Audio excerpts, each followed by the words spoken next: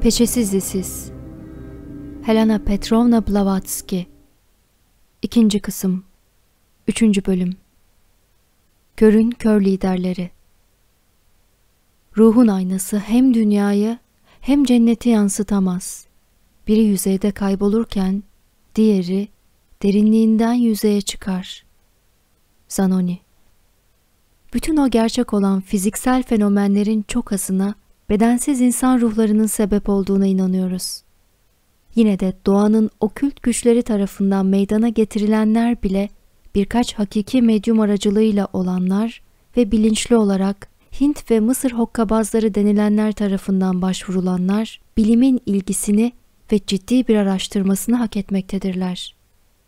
Özellikle şimdi bir grup saygın yazar çoğu vakada hilekarlık hipotezinin tutmadığına tanıklık etmişlerdir.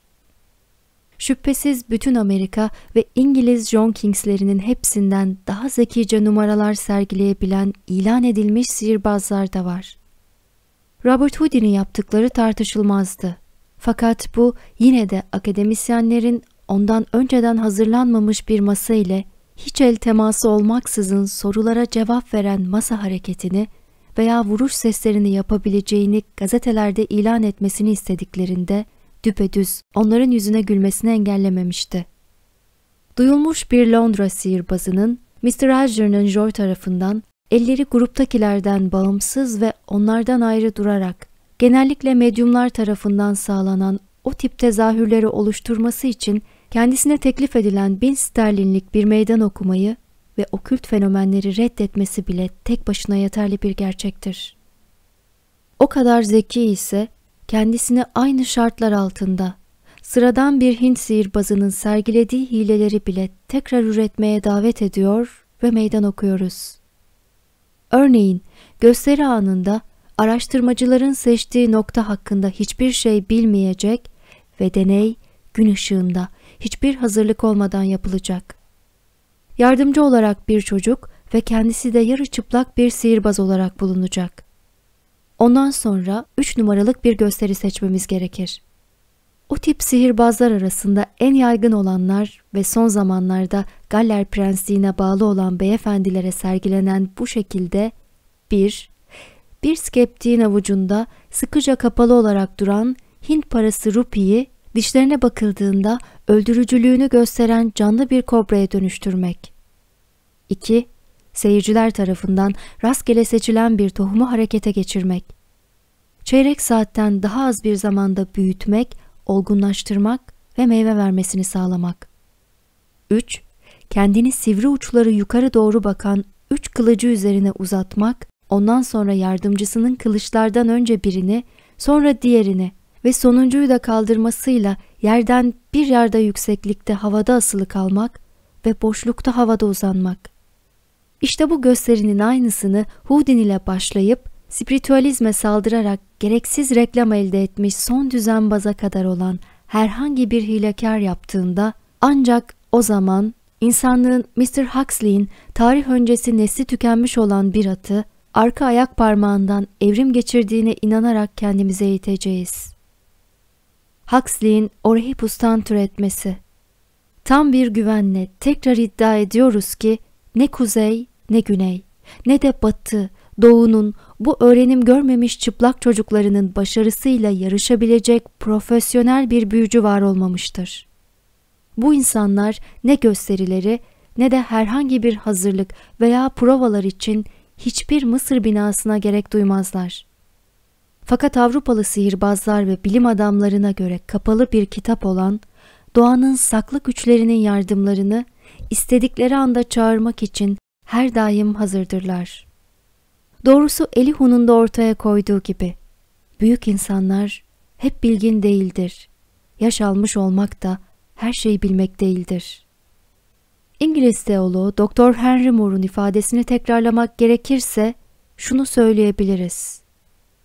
Aslında insanlıkta biraz tevazu kalsaydı, kutsal kitabın kayıtları insanları meleklerin ve ruhların varlığına fazlasıyla temin edebilirdi. Aynı seçkin adam şöyle ekliyor. Canlı hayalet örneklerini bizim uyuşuk beyinlerimizi uyandırıp ağır toprak ve kil ile kaplanmış olanlar dışında başka zeki varlıklar da olduğunu bize göstermek için ilahi takdirin özel bir parçası olarak görüyorum. Çünkü bu delil orada kötü ruhlar olduğunu göstererek iyi ruhlar da olması gerektiği ve son olarak bir tanrı olduğu inancına kapı açacaktır. Yukarıda verilen örnek sadece bilim adamları için değil, teologlar için de beraberinde bir ahlak dersi taşımaktadır. İzlerini kürsü ve profesörlerin koltuklarına bırakanlar, önlerine gelen, akıllarına yatan herhangi bir entrikacıyla yakınlık kurarak, gerçekten de psikoloji hakkında ne kadar az şey bildiklerini toplum önüne sererler. Ve bu şekilde kendilerini dikkatli öğrencinin önünde gülünç duruma düşürürler. Bu konu hakkındaki toplum görüşü, saygın düşünceye layık olmayan bir şekilde hokkabazlar ve kendi tarzında bilgin olanlar tarafından üretilmiştir. Comte, sistemi ve öğrencileri Psikoloji biliminin gelişimi kendi özündeki zorluklardan çok daha fazla bu sınıfın hak iddia eden sahtekarlarının alaya alınması yüzünden geciktirilmiştir. Bilimsel süt çocuğunun ya da üst tabaka aptallarının boş gülüşü insanı kendi muhteşem psişik güçlerinden cahil bırakmak için karanlıklardan, engellerden ve konu hakkında bir araya gelenleri tehdit etmekten çok daha fazlasını yapmıştır. Bu özellikle ruhsal fenomenlerle ilgili olan davadır. Onları inceleyebilme ihtimali bulunan ve inceleyecek olan bilim adamlarını ayakkabılarını bile bağlayamayacak kişilerin şişirilmiş pozlarıyla, eşek şakaları ve küstah yargılamalarıyla korkutmaları yüzünden araştırmalar çok sayıda yeteneksizle sınırlı kalmıştı. Üniversite koltuklarında bile ödlekler var. Modern spiritüalizmin özündeki canlılık, bilim zümresinin ihmalinden ve hak iddia eden teşhircilerinin abartılı yaygaralarından geriye hayatta kalabilen kısmında ispatlanır. Faraday ve Brewster gibi bilimin saygıdeğerlerinin aşağılayıcı hareketleriyle başlayıp fenomenlerin başarılı taklidinin profesyonel teşhircileriyle bitirdiğimizde Londra'da spiritüel fenomenlerin tezahürlerine karşı iyi bir şekilde düzenlenmiş tek bir iddia bile bulamayacaksınız. Benim teorim der bu şahsiyet son makalesinde. Mr. Williams kılık değiştirdi ve John King ve Peter'ı canlandırdı. Kimse öyle olmadığını ispat edemez. Bu yüzden öyle görünüyor ki cesur bir iddia gibi görünmesine rağmen o yalnızca bir teoriydi ve spiritüalistler bu gösterişçiye çok sert karşılık verebilir ve öyle olduğunu kanıtlaması gerektiğini talep edebilirlerdi. Ancak spiritüalizmin en kronik ve en uzlaşmaz düşmanları daha yüksek sesle bağırıp çağırsalar da ve görüşlerini gürültülü yapmaya değecek kadar iyi bir sebeple ileri sürseler de neyse ki sadece birkaç üyeden oluşan bir sınıftan ibaretler. Bunlar genç Amerika'nın bilimde hak iddia edenleridir.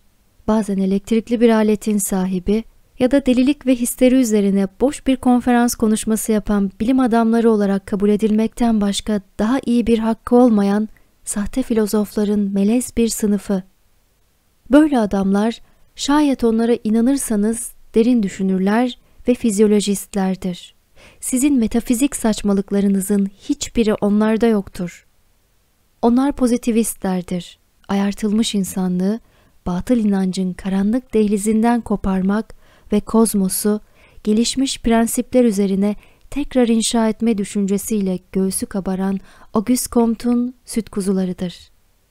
Bu huysuz psikofobistler için onlara ölümsüz ruhlar bahşedildiğinin öne sürülmesinden daha incitici hakaretler sunulamaz. Onları duyan birisi erkek ve kadında hangi çeşit olursa olsun bilimsel ve bilimsel olmayan ruhlardan başka ruhlar bulunamayacağını düşünmeye başlardı. 30 ya da 40 yıl önce Fransa'da Auguste Comte, teknik okul ekolünün bir öğrencisi olarak yıllarca o bölümde deney üstü analiz ve rasyonel mekaniğin tekrarlatıcısı olarak kalmıştır. Bir sabah bir peygamber olmanın mantıksız fikriyle uyandı. Amerika'da her köşe başında peygamberlere rastlanabilir. Avrupa'da ise siyah kuğular kadar nadirdirler. Fakat Fransa tuhaflıkların ülkesidir. Auguste Comte de bir kahin peygamber oldu. ve öyle bulaşıcı biçimde uyduruldu ki hatta ağırbaşlı İngiltere'de bile belli bir süre 19. yüzyılın Newton olarak saygı gördü. Salgın genişledi ve şimdiki şartlara göre Almanya, İngiltere ve Amerika üzerinde söndürülmesi güç bir ateş gibi yayıldı. Kendine Fransa'da üstadlar buldu. Fakat bu heyecan çok uzun sürmedi. Peygamberin paraya ihtiyacı vardı ve müritleri onu tedarik etmeye istekli değildi. Tüm coşkulu havarilerine rağmen tanrısız bir dine duyulan hayranlık ateşi geldiği kadar hızlı bir şekilde soğudu ve dikkate değer tek bir şey kaldı. O da meşhur filolog Luther idi. Kendisi Fransız Enstitüsü'nün bir üyesi, Orleans Başpiskoposu'nun ölümsüzlerden biri olmasına kasten engel oldu. Sözde Emperyal Bilim Akademisi'nin sözde üyesiydi. Filozof ve matematikçi, geleceğin dininin baş rahibi. Bizim modern zamanımızın kardeş peygamberlerinin yaptığı gibi kendi doktrinini öğretti. Kadını tanrılaştırdı ve ona bir sunak süsledi. Fakat tanrıça karşılığını ödemek zorunda kalmıştı. Rasyonalistler Fourier'in zihinsel sapması ile ilgili dalga geçerlerdi. Aziz Simonistlere gülmüşlerdi ve onların spiritüalizmi aşağılamalarının sınırı yoktu. Aynı rasyonalistler ve materyalistler çoğu boş kafalı serçeler gibi yeni peygamberin belagat sanatının tuzağına düşmüşlerdi. Bir çeşit tanrısallığa özlem, bilinmeyene duyulan hasret, insanın yaratılışında olan bir duygudur. En kötü ateistler bile bundan muaf gibi görünmezler. Bu sahte ateşin dış görünüşündeki parlaklığına aldanmış bir şekilde müritleri kendilerini dipsiz bir bataklıkta debelenirken bulana kadar onu takip ettiler. Yapmacık bir bilginlik maskesi altına saklanan bu ülkenin pozitivistleri tarafsız bir şekilde araştırıyormuş gibi görünerek spiritüalizmi yok etme tasarısıyla bir yandan da tarafsızca araştırıyormuş gibi görünüp kulüpler ve komiteler organize ettiler. Hristiyan doktrini ve kiliseleri açıkça meydan okuyamayacak kadar korkak, bütün dinlerin dayandığı, insanoğlunun Tanrı'ya olan inancı ve kendi ölümsüzlüğü bulunan temeli bozmak için çaba harcadılar. Politikaları böyle bir inancın sıra dışı bir temele dayandırılmasıyla gülüp geçmekti ve o temel fenomenal spiritüalizmdi. Ona en zayıf tarafından saldırarak bir tümevarın metodundan yoksunluğunu ve propagandacılarının üstün doktrinlerinde bulunan abartmaları ele alırlar. Onun popüler olmamasından avantaj sağlamış bir şekilde öfkeli bir cesaret sergileyerek batıl bir inancı ezecek olan hayırsever ve bağışçılar olarak tanınma hakkını talep ederler. Şimdi Comte'ün spiritüalizme üstün olan gelecek dininin ne kadar şişirildiğini ve onun savunucularının endişe duydukları medyumlar için tavsiye ettikleri o akıl hastanelerinde kıvranmaları gerekliliğine ne kadar uygun olduklarına şöyle bir bakalım. Başlamadan önce de modern spiritüalizmde ortaya çıkan utanç verici özelliklerin dörtte üçünün doğrudan spiritüalistmiş gibi görünen materyalist maceracılara dayandırılabilir olduğu gerçeğine dikkat çekelim. Comte, kaba bir şekilde suni olarak döllenmiş geleceğin kadınını tanımlamıştır. O kadın, sadece evlilik dışı ilişkilerin Kıbrıs idolünün, Afrodit'in büyük kız kardeşiydi. Çılgın müritlerinin öğretileriyle sunulan gelecek bağışıklığı, sahte spiritüalistleri onlara komünist örgütler şekillendirmeye liderlik edecek kadar aşılamıştı. Ama hiçbir uzun ömürlü olmadı. Onların genellikle materyalist bir hayvanilik olan liderlik özelliği, tombak felsefenin ince bir yaprağını yaldızladı ve sert Yunan adlarının bir kombinasyonuyla allayıp pulladı ve topluluklara bir hatadan başka herhangi bir şey ispatlayamadı. Plato, Republic'in 5. kitabında sağlıksız ya da deforme olmuş bireylerinin elenmesiyle ve her iki cinsin daha iyi örneklerinin çiftleştirilmesiyle insan neslinin geliştirilmesi için bir yöntem sunar. Bizim yüzyılın dahisinin bir peygamber bile olsa aklından bütünüyle yeni bir şey çıkaracağı beklenemezdi. Comte bir matematikçiydi. Bütün eski ütopyalarını birleştirerek hepsini renklendirdi ve Platon'un düşüncesini geliştirerek onu materyalize etti ve dünyaya insan zihninden çıkan en büyük canavarlık olarak sundu. Okuyucumuzdan Comte'ü bir filozof olarak değil, sadece bir sözde reformcu olarak çattığımızı göz önünde tutmasını rica ediyoruz. Onun politik, felsefik ve dini görüşlerinin çaresiz karanlığında sık sık onların yorumlarının parlaklığı ile rekabet eden, içinde derin mantık ve tedbirli düşüncenin olduğu soyutlanmış gözlemler ve ifadelerle karşılaşırız. Fakat sonra sevdiğimiz bu göz kamaştırmalar, karanlık, kasvetli bir gecede şimşek gibi çakar ve hemen sonra sizi her zamankinden daha fazla karanlıkta bırakır. Eğer bir araya getirilse ve tekrar düzenlense, Comte'ün genel olarak birçok çalışması, bizim sosyal günahkarlarımızın çoğunun çok açık ve gerçekten zekice tanımlamalarını veren tam orijinal özdeyişlerinin bir cildini üretebilirdi. Ancak hem onun Kurs de Philosophie Positive'nin altı cildi içinde hem de bir diyalog şeklinde papazlık üzerine olan parodisinde o tip günahkarlar için geçici çareler üreten herhangi bir fikir aramak boşuna olurdu. Müritleri, peygamberlerinin yüce doktrinlerinin avam halk için tasarlanmadığını ileri sürerler. Pozitivizm tarafından üretilen dokmaları, havarilerinin uygulamalı örnekleriyle kıyaslandığında, onun akabinde olan çok akromatik, renkleri değişmeyen bir doktrin ihtimalini itiraf etmemiz gerekir. Başrahip, kadın erkeğin dişisi olmaya son vermelidir diye vaaz verirken, pozitivist kanun yapıcılarının teorisi, kadını her türlü annelik fonksiyonundan bertaraf ederek onu sadece erkeğin eşi yapmayı içerirken ve onlar gelecek için iffetli kadına o fonksiyonun yerini alacak saklı bir güç hazırlarken müritleri rahipler açık açık poligami vaazı verirler ve diğerleri de onların doktrinlerinin spiritüel felsefenin özü olduğunu iddia ederler. Katolik rahip sınıfının kötülüğün kronik bir karabasan altında hizmet veren düşüncesine göre Comte, geleceğin kadınını inkubusların mülkiyetine sunar. Daha sıradan kişilerin görüşüne göre pozitivizm kutsallığı bundan sonra iki ayaklı damızlık bir kısrak olarak itibar görmelidir. Luther bile bu muhteşem dinin havariliğini kabul ederken ihtiyatlı kısıtlamalar yapmıştı. İşte 1859'da yazdığı Monsieur Comte yalnızca ilkeleri kurduğunu, çizgileri belirlediğini ve metodu oluşturduğunu düşünmekle kalmamış, ayrıca sonuçların gelişimini izlemiş ve geleceğin büyük sosyal ve dini yapısını inşa etmiştir. O, rezervasyonlarımızı yaptığımız, aynı zamanda birinci kısmın tümünü de bir miras olarak kabul ettiğimizi açıkça söylediğimiz bu ikinci kısımdadır. Daha sonra şöyle diyor. Monsieur Comte, pozitif felsefe sistemi başlıklı büyük bir çalışmada sonuç olarak her bir teoloji ve metafiziğin yerini alması gereken bir felsefenin temelini kurmuştur.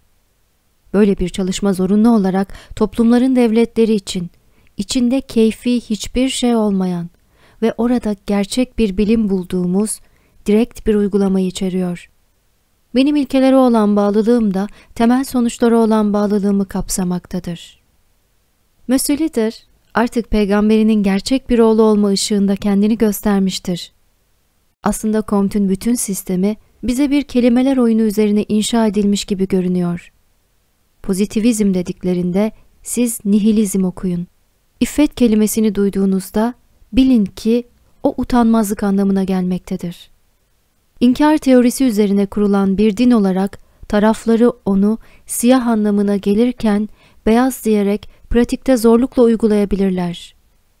Pozitivist felsefe diye devam eder lider. Ateizmi kabul etmez. Ateist gerçekten özgür bırakılmış bir zihin değildir. Sadece kendine göre bir teoloji stili vardır. O, şeylerin özüyle ilgili kendi açıklamasını yapar. Yine kendine göre onların nasıl başladığını bilir. Ateizm panteizmdir. Hatta bu sistem tamamen teolojiktir ve bu şekilde eski çağların grubuna aittir.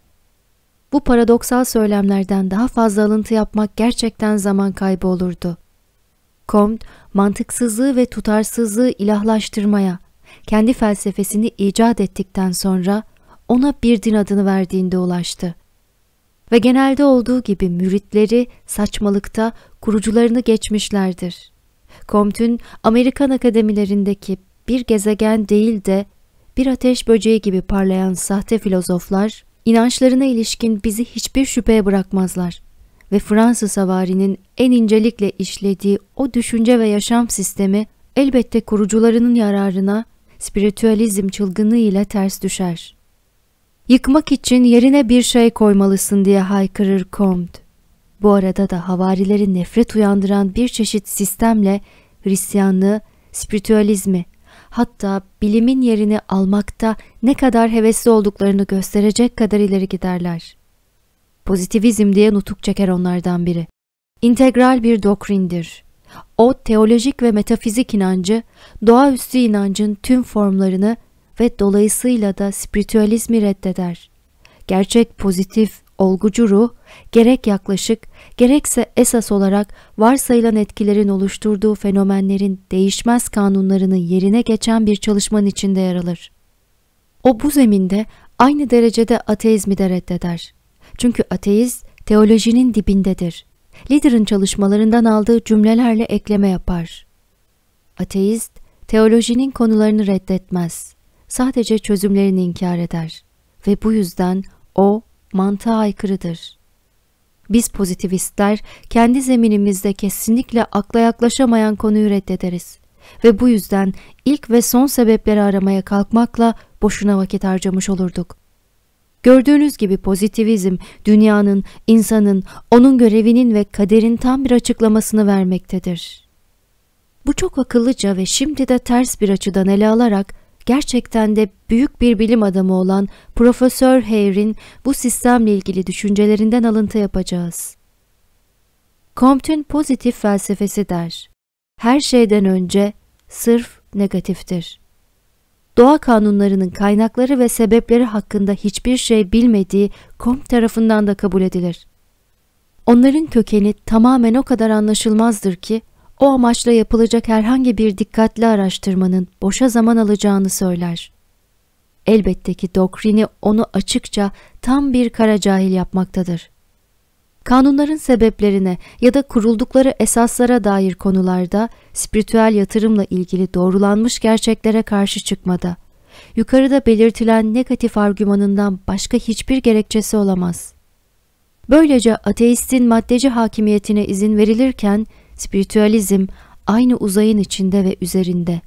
İnsan hayatı süresine göre sonsuzluk kadar çok daha muhteşem ve bu yer kürenin yaşanabilen bölgesine göre ise sabit yıldızların sınırsız bölgeleri gibi önem taşıyan bir hakimiyeti yükseltecektir. Kısaca pozitivizm, teoloji, metafizik, spiritüalizm, ateizm, materyalizm, panteizm ve bilimi yıkmayı tasarlar ve son olarak da kendini yok etmelidir. De Mirville, pozitivizme göre düzenin insan beyninde ancak psikolojisinin bir çeşit beyinsel fizik, tarihin de bir tür sosyal fizik olduğu gün hüküm süreceğini düşünür. 1864 yılında enstitünün bir üyesi Monsieur Paul Genet pozitivizm üzerine bir konuşma yaptı ve içinde dikkate değer şu sözler vardı. Kesin ve pozitif bilimler üzerine yerleştirilmiş ve beslenmiş bazı beyinler vardır. Ama yine de onlar felsefeye doğru bir çeşit içgüdüsel çekim hissederler. Bu içgüdüyü ancak ellerinde olanlarla tatmin edebilirler. Psikolojik bilimlerde cahil olarak metafiziğin de sadece körlenmişlerini inceleyerek diğeri kadar az bildikleri bu metafizikle ve aynı şekilde psikolojiyle mücadele etmeye kararlıdırlar. Bu yapıldıktan sonra kendilerini pozitif bilimi kurmuş olduklarını hayal ederler. Oysa gerçek olan yalnızca sakatlanmış ve tamamlanmamış metafizik teoriyi kurduklarıdır. Onlar sadece tamamen deney ve hesaplamalara dayalı gerçek bilimlere ait olan otorite ve yanılmazlığı kendilerine mal ederler. Fakat öyle bir otoriteden yoksundurlar. Zira olabildiğince hasara uğramış fikirleri o saldırdıklarının sınıfına aittir. Durumlarının zayıflığından dolayı fikirlerinin son harabesi de dört rüzgarla dağılacaktır.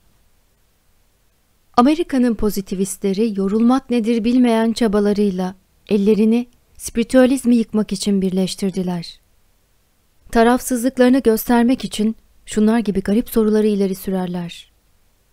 Eğer fizyoloji bilimi, matematik ve kimya testlerine tabi tutulsa, lekesiz ana rahmine düşüş, Meryem'in gebeliği, kutsal üçleme ve dönüşüm, kutsal ekmek ve şarap dogmalarında ne kadar rasyonellik bulunur? Ve şunu da söylemeyi üstlenirler. Spiritüalizm çılgınlıkları saçmalıkta bu pek saygıdeğer inançları geçemez. Ne güzel ama ne teolojik mantıksızlık ne de spiritüalist yanılgı.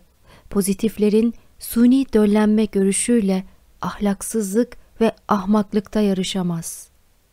İlksel ve son sebepler üzerine tüm düşünceyi inkar ederek deli saçması teorilerini gelecek nesillerin tapması için mümkün olmayan bir kadının yapılışını uygularlar. Her gün güneşin ısısıyla yumurtlaması için içine serpent yumurtaları tıkıştırılan yerlilerin tahta idolü Ebaah'ın dişi putuyla canlı bir eşi yer değiştireceklerdir. Ve şimdi izin verilirse sağduyu adına sormak istiyorum. O kadar iğrenç saçmalıkla vücut bulan bir din, akademisyenler arasında bile müritler oluştururken neden Hristiyan mistiklerin saf dilli olmakla suçlanması ya da spiritüalistlerin akıl hastanesine sevk edilmesi gerekiyor? Ve üstelik şunlar gibi delice sözler Comte'ün ağzıyla söylenip takipçileri tarafından da hayranlıkla dinlenirken gözlerim kamaşıyor. Onlar dişi gizemin gelip çatmasıyla komünyon ayini arasındaki artmakta olan tesadüfe her geçen gün daha fazla açık oluyorlar. Bakire Güney Katoliklerin zihninde çoktan Tanrı'yı tahttan indirdi bile. Pozitivizm kocasız bir bakire bir anne nesli olarak büyük ailenin bütün üyelerinin temsil edilmesiyle orta çağların ütopyasının farkına varmıştır. Ve işleyiş metodunu verdikten sonra yine şöyle devam ediyor. Yeni yöntemin gelişimi, spiritüel esasların ve hatta otoritelerinin bir araştırmadan kaçınmayacağı dünyevi prensiplerin güçlendirilmesine, basit üremeden daha iyi uyum sağlamış ve üstün bir başlangıç noktasına dayanan kalıtımsız bir sosyal sınıfın doğmasına sebebiyet verecektir. Bu gelecek ırk idealinden daha akıl almaz herhangi bir şey, spiritüalizm çılgınlıkları ya da Hristiyan gizemlerinin içinde bulunmasa da biz bunu usulüne uygun bir şekilde sorgulayabiliriz. Eğer materyalizmin eğilimi de açıkça poligami vaazı veren bazı savunucularının davranışı ile yalancı çıkarılmak değilse, biz orada hep o şekilde dünyaya getirilmiş bir rahiplik kuşağı olacağını ve onun sonucunu hiç görmeyeceğimizi hayal edebiliriz. Kocasız annelerin çocukları. Böyle didaktik bir inkubuslar toplumsal sınıfı doğurabilmiş bir felsefenin en boş boğaz yazarlarından birinin şu duyguları ifade etmesi ne kadar da normal. Bu üzücü, çok üzücü bir çağ. Ölmekte olan inançlarla ve ayrılan tanrılar için boşuna arayışta dualar yollayan aylak duacılarla dolu. Fakat durun, o parlak bir çağ, bilimin gökyüzünden inen güneşinden yayılan altın ışıklarla dolu. Spiritüalizm serabında, soyut felsefenin yanılgısında veya bir tutam mesmerizmin boş umudunda huzur arayan, akıl iflasındaki tüm bu kazazedeler için ne yapabiliriz? Boş umut sözü pek çok cüce filozofun favori imajı haline geldi. Öyle ki kabul görmek için neredeyse kendisiyle mücadele etti. Başkasına gerek kalmadı. Şimdi aşina olunan fenomenin Beccaria, Humboldt ve diğer yön veren doğa bilimcilerin tanıklığı ile desteklenen Dr. Phillipson'ın çalışmalarına gelinceye kadar Londra Times'ın iddiaları ağırlık taşıyan bir muhabiri tarafından kuvvetli bir şekilde reddedilmesi arasında çok uzun zaman geçmedi. Pozitivistlerin daha mutlu bir ifade seçmeleri ve aynı zamanda bilimin keşiflerini takip etmeleri gerekmektedir. Mesmerizme yani hipnotizmaya gelince Almanya'nın birçok bölgesinde benimsenmiş ve tek bir hastanede olduğundan daha fazla alenen inkar edilmez bir başarıyla kullanılmaktadır. Okült özellikleri ispatlanmış ve hepsinin mevkisi, bilgisi, hak ettiği ünü aynı olması beklenmese de fizikçiler tarafından da kabul görülmektedir. Bu tatsız konuyu kapatmadan önce birkaç kelime daha eklemek zorundayız. Bu pozitivistlerin Avrupa'nın en büyük bilim adamlarının kom taraftarı olduğu yanılgısı içinde özellikle mutlu olduklarını gördük. Diğer bilginlerle ilgili iddiaları ne kadar haklı olabilir bilmiyoruz. Fakat Huxley ki Avrupa onun en büyük bilim adamlarından biri olduğunu düşünüyor. En kararlı bir şekilde itibarı reddediyor ve Londralı Doktor Mosley de peşinden geliyor. 1868'de Edinburgh'da hayatın fiziksel temelleri üzerine yukarıda ilk bahsedilen beyefendi verdiği bir konferansta York Başpiskoposu'nun onu Comte'un felsefesi içinde tanımlama rahatlığı ile şok olmuştur. Gördüğüm kadarıyla der Mr. Huxley. Saygıdeğer başrahip modern bir agah gibi Comte'u diyalektik olarak parçalara ayırabilirdi ve ben de ona engel olmak için elini tutmaya teşebbüs etmezdim. Pozitif felsefeyi özellikle karakterize eden şey hakkındaki çalışmam bana öncülük ettiği derecede o konunun içinde Papa'nın yetkili olduğu Katolik sistemdeki herhangi bir şey kadar bilimin özüne tamamıyla ters ve ancak çok az ya da hiç bilimsel değeri olmayan bir şey bulabilirdim. Aslında Comte'un felsefesi uygulamada özetle Katoliklik eksi Hristiyanlık şeklinde tarif edilebilir.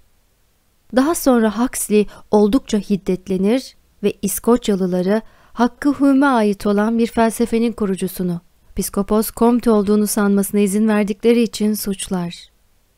Onun karakteristik doktrinlerinin diye haykırır.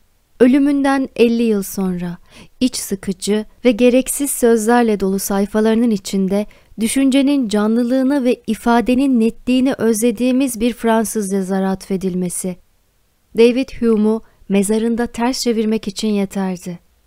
Zavallı Comte.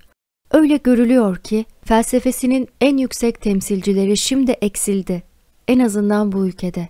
Bir fizikçiye, bir sinir hastalıkları doktoruna ve bir avukata indirgendi. Çok esprili bir eleştiri bu üçlüye bir isim taktı. Ağır işlerinin arasında kendi dillerinin esasları ve kanunları hakkında bilgilenmeye vakit bulamamış ayrıksı bir üçlü. Konuyu kapatmak için pozitivistler kendi dillerinin lehine spiritüalizmi yerden yere vurmayı kesinlikle ihmal etmezler. Paradoksları eşsizdir ve spiritüalistlere karşı suçlamaları mantıken dayanılmazdır. Örneğin son konferanslardan birinde şöyle ifade edildi. Dini içgüdünün özel uygulaması seksüel ahlaksızlığın üretkenidir. Rahipler, keşişler, rahibeler, azizler, veşt halindekiler ve fanatik dindarlar iffetsizlikleriyle meşhurdurlar. Şunu ifade etmekten mutluyuz. Pozitivizm kendisini yüksek sesle bir din olarak ilan ederken, spiritüalizm ise hiçbir zaman bilim, gelişen bir felsefe ya da daha doğrusu doğada henüz açıklanmamış ve saklı güçlerden daha başka bir şeymiş gibi görünmedi.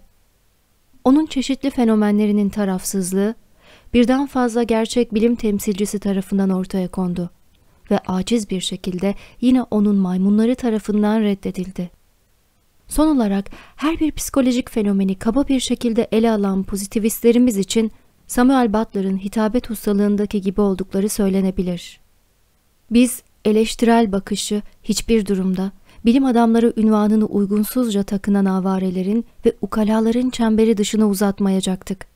Ancak bilim dünyasında derecesi yüksek olanlar tarafından ele alınan konuların eleştiriye tabi olduğunda es geçildiği de inkar edilemez. Deneysel araştırmanın sabit bir alışkanlığının tedbirliliği, görüşten görüşe çekimser ilerleme, tanınmış otoritelere uyum sağlamanın ağırlığı, hepsi doğal olarak dogmatik görünen muhafazakar bir düşünceyi besler, büyütür. Bilimsel gelişimin bedeli çoğunlukla yenilikçi olanın şehitliği ya da sürgünüdür. Laboratuvar reformcusu tabiri caizse gelenek ve ön yargı kalesini süngün ucunda taşımalıdır. Bir arka kapının dostça bir el tarafından açık bırakılması bile çok nadirdir. Bilimin bekleme odasındaki küçük insanların gürültülü protestoları ve küstah eleştirilerini görmezden gelmeye gücü yetebilir. Fakat diğer sınıfın düşmanca muhalefetiyle yüzleşmeli ve üstesinden gelmelidir. Bilgi süratle çoğalır. Ancak bilim adamlarının büyük zümresi itibar hakkına sahip değildir. Her alınan mesafede yeni keşfi keşfedenle birlikte karaya oturtmak için ellerinden geleni yapmışlardır. Zafer, bireysel cesaret, sezgi gücü ve ısrarlı olmakla elde edilir. Doğadaki güçlerin çok azı ilk duyulduklarında alay edilmediler. Fakat sonradan saçma ve bilim dışı olarak bir kenara konuldular. Hiçbir şey keşfetmemiş olanların gururunu kırmak, hüküm zamanına kadar haklı iddiaların savunmasını reddedilmesi artık bilimsel ihtiyatlılıktan çıkmıştı. Ve sonra da yazıklar olsun zavallı, bencil insanlık. Ne yapabiliriz? Geçmiş can sıkıcı konulara geri mi dönelim? Bir kilise dogmasını incitmemek korkusuyla, heliosentrik teoriyi inkar etmek için rahip sınıfıyla suç ortaklığı yapan ortaçağ alimlerini mi işaret edelim? İyi eğitimli konkolojistler bir keresinde dünyanın yüzeyine saçılmış bulunan fosil kabuklarını orada hiç hayvan yaşamı bulunmamış olduğu için nasıl inkar ettiklerini mi hatırlamalıyız? 18. yüzyılın doğa bilimcileri bunları sadece hayvanların önemsiz kopyaları olarak nasıl da ilan etmişlerdi. Ve bu doğa bilimciler yaklaşık bir yüzyıllık kadim çağların soylu mumyaları üzerinde Buff'ın inkarcılara yanıldıklarını ispatlayıp konuyu kapatana kadar nasıl çekişmiş ve kavga etmişlerdi. Kuşkusuz bir istiridye kabuğu deney üstü bir şey değildir. Ve herhangi bir kesin bilim çalışması içinde elle tutulur bir konu olması gerekir. Ve bilim adamları onun üzerinde bile aynı fikirde olamadılarsa, hiçbir şekilde onlardan spiritüel medyumların, dürüst olanlarının seanslarında görülen eller, yüzler, bazen de bedenler şeklindeki gelip geçici formlara inanmalarını bekleyemeyiz. Londra materyalistleri Bilimin skeptiklerinin boş zamanlarını geçirmeleri için çok faydalı okuma sağlayabilecek güvenilir bir çalışma var. Bu Fransız Akademisi Daimi Sekreteri Florence tarafından yayınlanmış Buffett'ın Tarih Araştırmaları adlı bir kitap. Yazar kitapta büyük doğa bilimcisinin nasıl mücadele ettiğini ve sonunda kopyalama teorisinin savunucularını nasıl fethettiğini ama yine de okumuş alimlerin bir inkar salgınına yakalandıkları zamanlara kadar güneş altında olan her şeyi inkar etmeye devam ettiklerini gösterir. Onlar Franklin ve onun rafine elektriğini inkar ettiler. Fulton'a ve onun yoğunlaşmış buharına güldüler. Mühendis Perdermot'a demir yolları inşa etme teklifi yüzünden deli gömleği tavsiyesinde bulundular. Harvey'e şaşırmış gözlerle baktılar ve Burnett de Palissy saksılarından biri kadar aptal olarak ilan ettiler. Sık sık alıntı yapılan çalışması, din ve bilim arasındaki çatışmada Profesör Draper, adaletin terazisini tekmelemeye ve ruhban sınıfının kapısındaki bilimin gelişimine ayak bağı olan engelleri ortaya sermekte kararlı bir eğilim gösterir. Bu güzel konuşma ustası, yazar ve bilim adamına duyduğumuz tüm saygı ve hayranlık yüzünden iddiamızı kuvvetle savunmalı ve ona hakkını vermeliyiz. Yukarıda sayılmış olan keşiflerin çoğu konfliktin yazıları tarafından da belirtilir. Her vakada rahiplik tarafına olan sert direnci ifşa eder ve bilimin ellerindeki her yeni kaşif tarafından sürekli deneyimlenen benzer karşı iddia hakkında da sessizliğini korur. Onun bilim adına olan bilgi güçtür iddiası hiç şüphesiz doğrudur. Fakat gücün suistimali ister aklın isterse cahilliğin fazlalığından ortaya çıksın, sonuçları aynı çirkinliktedir. Ayrıca zaten ruhban sınıfı şimdi susturulmuştur. Protestoları bugünlerde bilim dünyasında neredeyse hiç önemsenmeyecekti. Ancak teoloji geri planda tutulurken bilim adamları despotluk asasını iki elleriyle zapt etmişlerdir ve onu tıpkı insanları sonsuz hayat ağacından uzak tutmak ve bu dünya içinde ölümlü madde olarak kalmalarını sağlamak için cennetin alevli kılıcını sallayan kerubim meleklerine benzetmektedirler. Londra Spiritualist'in editörü Mr. Tyndall'ın ateş sisi teorisini eleştiren Dr. Gully'e verdiği cevabında, spiritüalistlerin bedeninin Smithfield'da şimdiki yüzyılda canlı canlı kızartılmamasının yüksek merhametini tek başına bilime borçlu olduğumuzu ifade eder. Pekala, bu durumda bilginleri yakmanın artık moda olmadığı derecesinde bilim adamlarının dolaylı olarak toplum hayırseverleri olduğunu kabul ettik diyelim. Fakat Faraday'in, Tyndall, Huxley, Agassiz ve diğerleri tarafından spiritüalistik doktrine doğru beyan edilen eğilim, eğer bu bilgili beyefendilerin ve onların takipçileri Engisizyon'un elinde tuttuğu sınırsız güce sahip olsalardı, acaba spiritüalistlerin kendilerini şimdiki gibi rahat hissetmeleri için bir sebep olur muydu diye sormak haksızlık mı olur? Bir ruh dünyasının varlığına inananları kızartmamaları gerektiğini farz etsek bile ki canlı insanları yakmak kanuna aykırı. Bulabildikleri her spiritüalisti akıl hastanesine göndermezler miydi? Onlar bizi çaresiz saplantılı deliler, halüsinasyon gören aptallar, puta tapanlar ve diğer karakteristik adlarla çağırmıyorlar mı? Gerçekten de bilim adamlarının hayırsever vasiliğinden dolayı Londra Spiritualist'in editörünün o boyuttaki minnettarlığına neyin sebep olduğunu biz göremiyoruz. Profesör Tyndall'ın kaleminin zekice ürünlerinden biri Martineau ve materyalizm üzerine olan iğneleyici makalesidir. Aynı zamanda o ileriki yıllarda bağışlanamaz ifade kabalıklarının budanması için fazlasıyla hazır olacağı şüphe götürmeyen bir yazıdır. Ama şimdi bunlarla ilgilenmeyeceğiz. Ancak bilinç fenomeni hakkında Tyndall'ın ne söylemesi gerektiğini göz önünde tutacağız. Bu konuyu Mr. Martineau'dan şu şekilde aktarır. Bir insan, ben hissediyorum, düşünüyorum, seviyorum diyebilir. Fakat bilinç kendisini meseleye nasıl enjekte eder? Ve şöyle cevap verir. Beynin fiziki yapısından bilinç ile ilgili gerçeklere olan geçit akla hayale sığmaz. Diyelim ki beyinde belli bir düşünce ve moleküler aksiyon aynı anda oluşur. Biz bir mantık işlemiyle oradan oraya geçmemizi sağlayacak entelektüel bir organ ya da açıkça görülen organ parçalarına sahip değiliz. Onlar beraber ortaya çıkarlar. Fakat biz neden olduğunu bilmeyiz. Zihinlerimiz ve duyularımız beynimizin her molekülünü görüp hissedecek kadar genişletilmiş, güçlendirilmiş ve aydınlatılmış mıdır? Onların bütün hareketlerini, gruplandırmalarını, tüm elektrik akışlarını takip etmeye muktedir miyiz? Düşünce ve duyguların birbirleriyle ilişkili durumlarını yakından biliyor muyuz? Problemin çözümünden hep uzak olmamız mı gerekiyor? Bu fiziksel işlemler bilinç gerekçeleriyle nasıl bağlantı kuruyorlar? İki fenomen arasındaki derin uçurum idrak yoluyla aşılamaz olarak kalacaktır.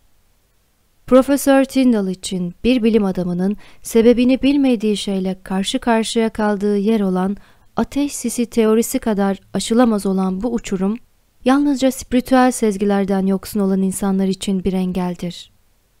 Profesör Buchanan'ın Antropolojinin Nörolojik Sistemi üzerine konferansın ana hatları adlı 1854 yılında yazılmış olan çalışması, şarlatanların onlara kulak vermiş olmaları halinde bu korkunç uçurumun üzerine nasıl köprü atıldığını göreceklerine dair önerileri barındırır.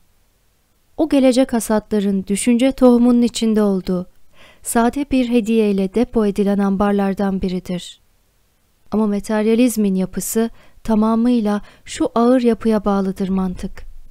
Onlar o kapasiteyi en son sınırlarına kadar uzattıklarında öğretmenleri bize olsa olsa okült bir tesir ile canlanan moleküller evrenini açıklayabilecektir.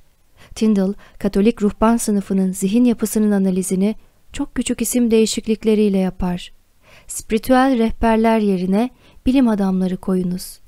Bilim öncesi geçmiş yerine materyalist şimdiyi koyunuz. Ruh yerine bilim deyiniz. Ve aşağıdaki paragrafta bir uzman eliyle çizilmiş modern bilim adamının hayat resmini görürüz. Onların spiritüel rehberleri, bilim öncesi geçmişte o kadar ayrıcalıklı yaşarlar ki, gerçekten güçlü zekalar bile onların arasında bilimsel hakikatle ilgili körelme durumuna gelirler. Gözleri var görmezler, kulakları var duymazlar.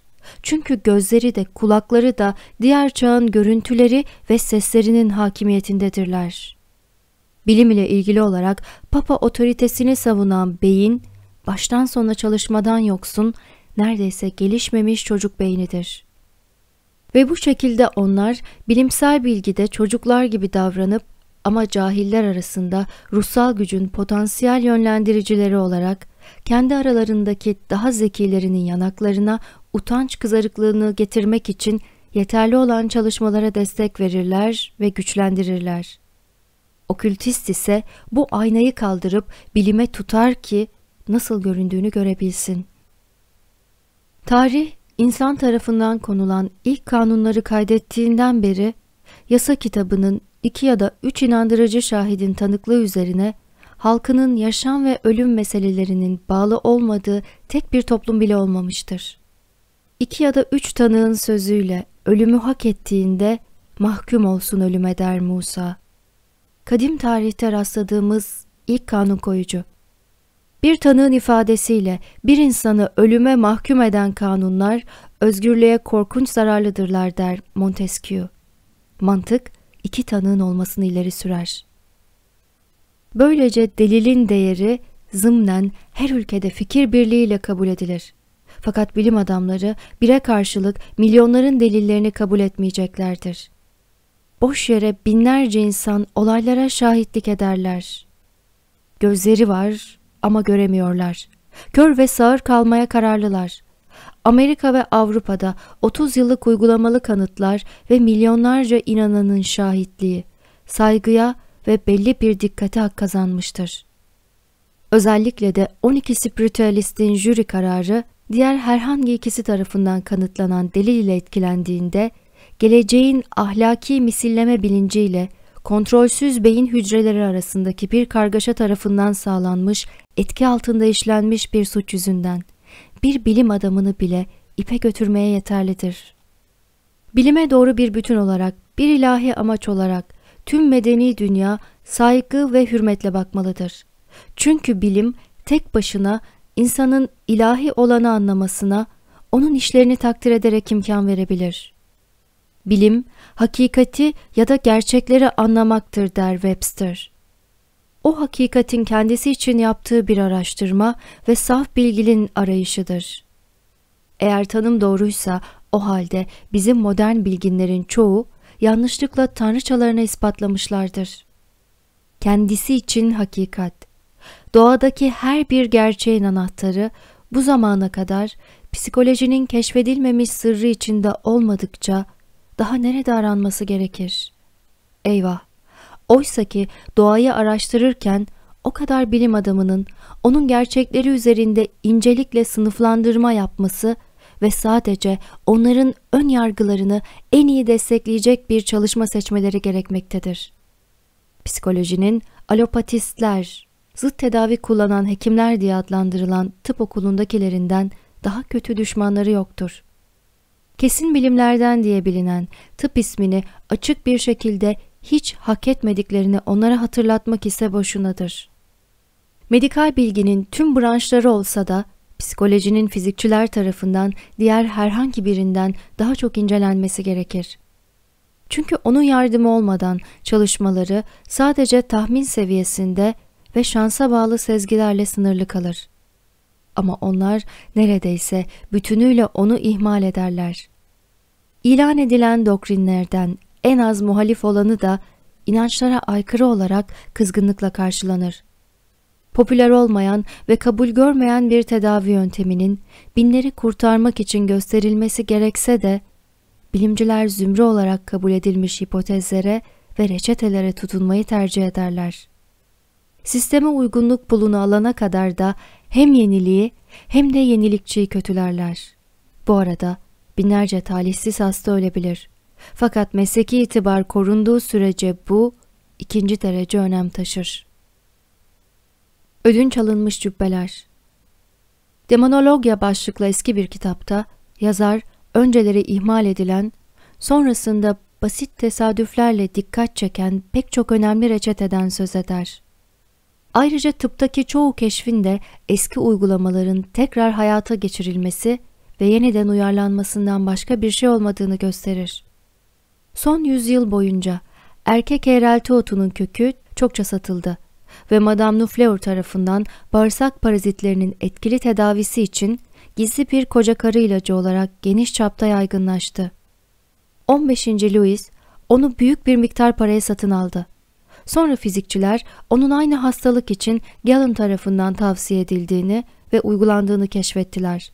Portland dükünün gut için meşhur tozu fizikçi Caelius Aurelianus'un duvar sedefi, mayasıl otu yaprakları ve biraz kırmızı kantarondan elde edilen tozdan başka bir şey değildi. Daha sonra onu eski Yunan filozoflarının yazılarında bulmuş olan ilk tıp yazarlarının kullanmış olduğu ortaya çıkarıldı. Dr. Hudson ile EU Medicinalae adını aldı. Ve Gut'un bu meşhur reçete yeni maskesi altında tanınıp kabul gördü. Çiğdem çiçeği 4. yüzyılın büyük fizikçisi Oribasius ve 5. yüzyılın İskenderiyeli Aetius Amideus tarafından da bilinen ve savunulan Iris tuberosa bitkisiyle benzer şekilde gut hastalığının kesin antidotu olarak fayda sağlar. Ancak geçen yüzyılın sonuna doğru yıldızı parlayan tıp fakülteleri tarafından çok fazla eski olarak görüldüğü için gözden düştü ve terk edildi. Bilge fizyolojist muhteşem Magendi bile zaten çoktan keşfedilmiş ve eski fizikçiler tarafından faydalı bulunmuş olanı tekrar keşfetmekten başka bir şey yapmadı.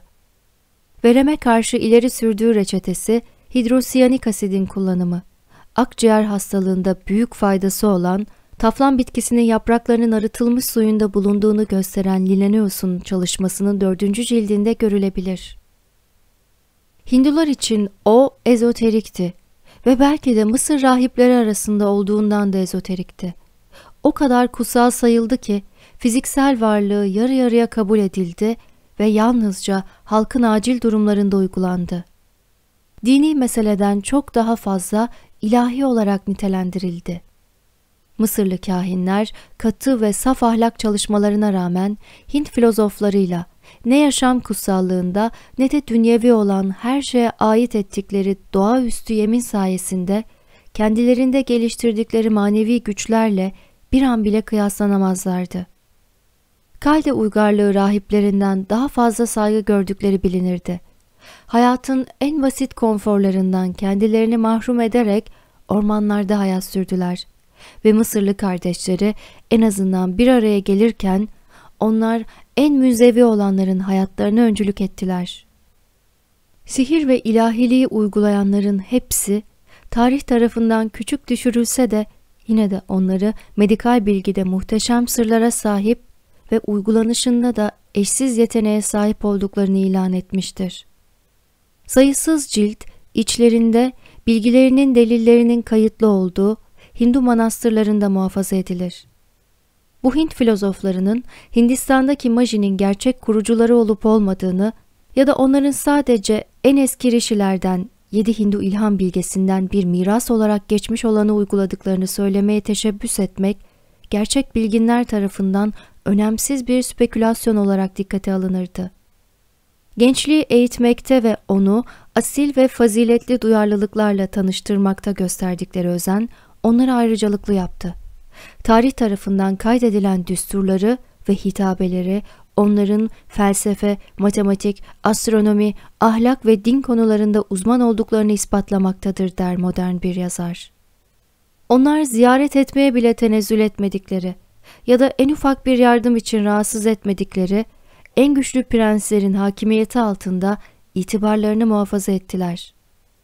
Eğer prensler o kutsal adamların tavsiyesini ya da dualarını isteselerdi, onlara kendileri gitmek zorunda kalırlar veya haberci yollarlardı. Bu adamlar için bitki ve minerallerin gizli güçlerinden hiçbiri bilinmez değildi. Psikoloji ve fizyoloji kitap açması beklerken onlar doğanın en derin sırlarını kavramışlardı ve sonuç şimdi verildiği adıyla mağrur sihir bilimiydi. İncil'deki kayıtlı mucizelerin Hristiyanlarca kabul edilmiş gerçekler olurken inanmamak kafirlik sayılıyordu.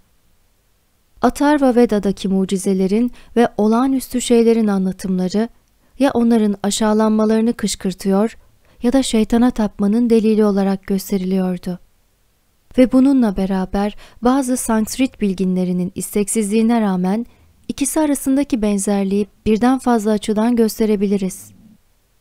Üstelik Vedaların şimdi bilginler tarafından Yahudi İncil'inden önce geldiği ispatlanmış olduğu için eğer onlardan biri diğerinden ödünç alındıysa Hindu kutsal kitapları eser hırsızlığıyla sorumlu tutulamaz sonucunu çıkarmak daha kolay olur. Her şeyden önce onların kozmogonileri, evrenin yaratılış teorileri Brahman'ın Hindular tarafından en yüksek tanrı olarak görüldüğü ile ilgili medeni uluslar arasında ne kadar yanlış bir görüşün yaygın olduğunu gösteriyor. Brahma ikinci derecede bir tanrısal varlıktır ve Yehova gibi suların hareket ettiricisidir. O yaratan tanrıdır ve alegorik sunumlarda dört ana yöne karşılık gelen dört tane başı vardır. O dünyanın mimarı Demiurgos'tur. Yaratımın başlangıç safhasında der Polier, Hint mitolojisi adlı eserinde. İlkel, tam gelişmemiş evren, su altında, sonsuzluğun göğsünde demleniyordu. Birden kaos ve karanlıktan ortaya çıktı. Brahma, dünyanın mimarı, suların üzerinde yüzen, kımıldayan bir lotus yaprağında duruyordu. Su ve karanlığın dışında herhangi bir şeyin farkında değildi.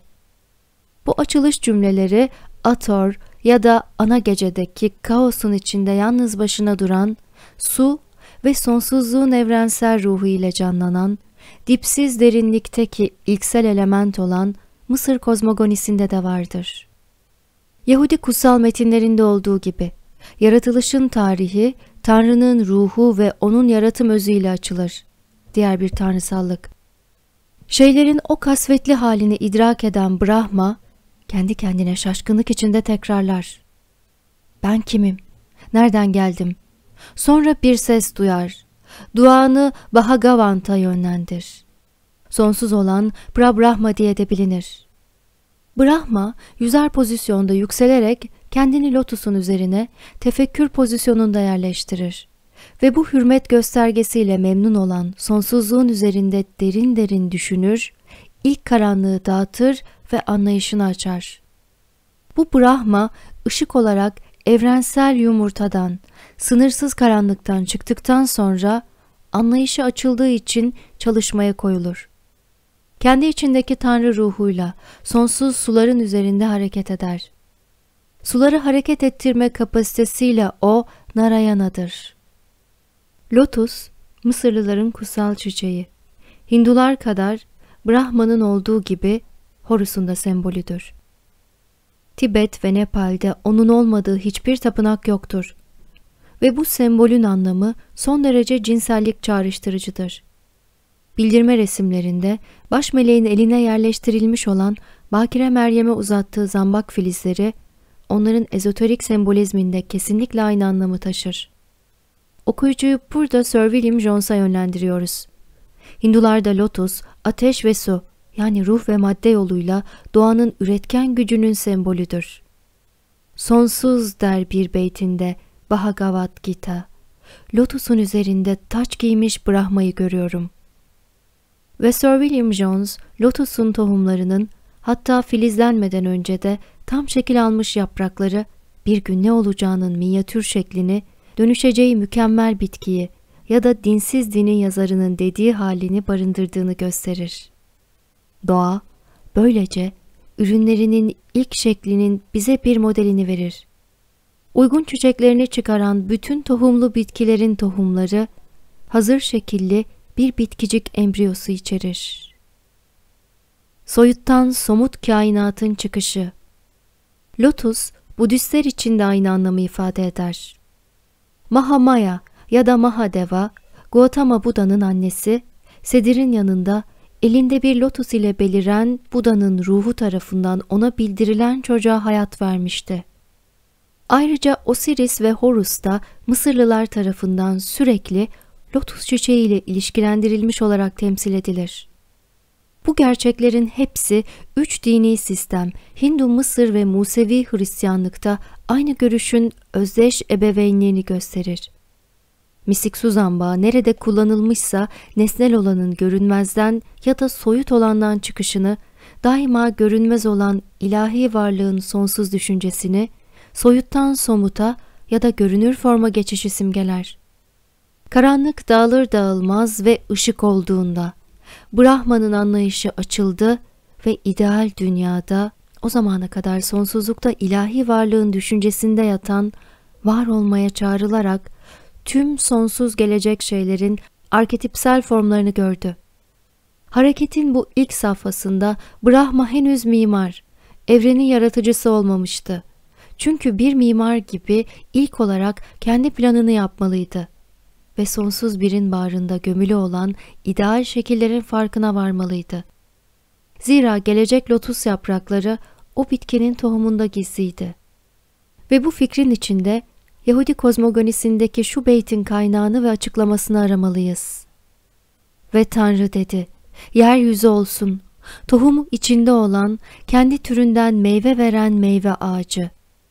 Bütün ilk dinlerde babanın oğlu yaratıcı Tanrı'dır.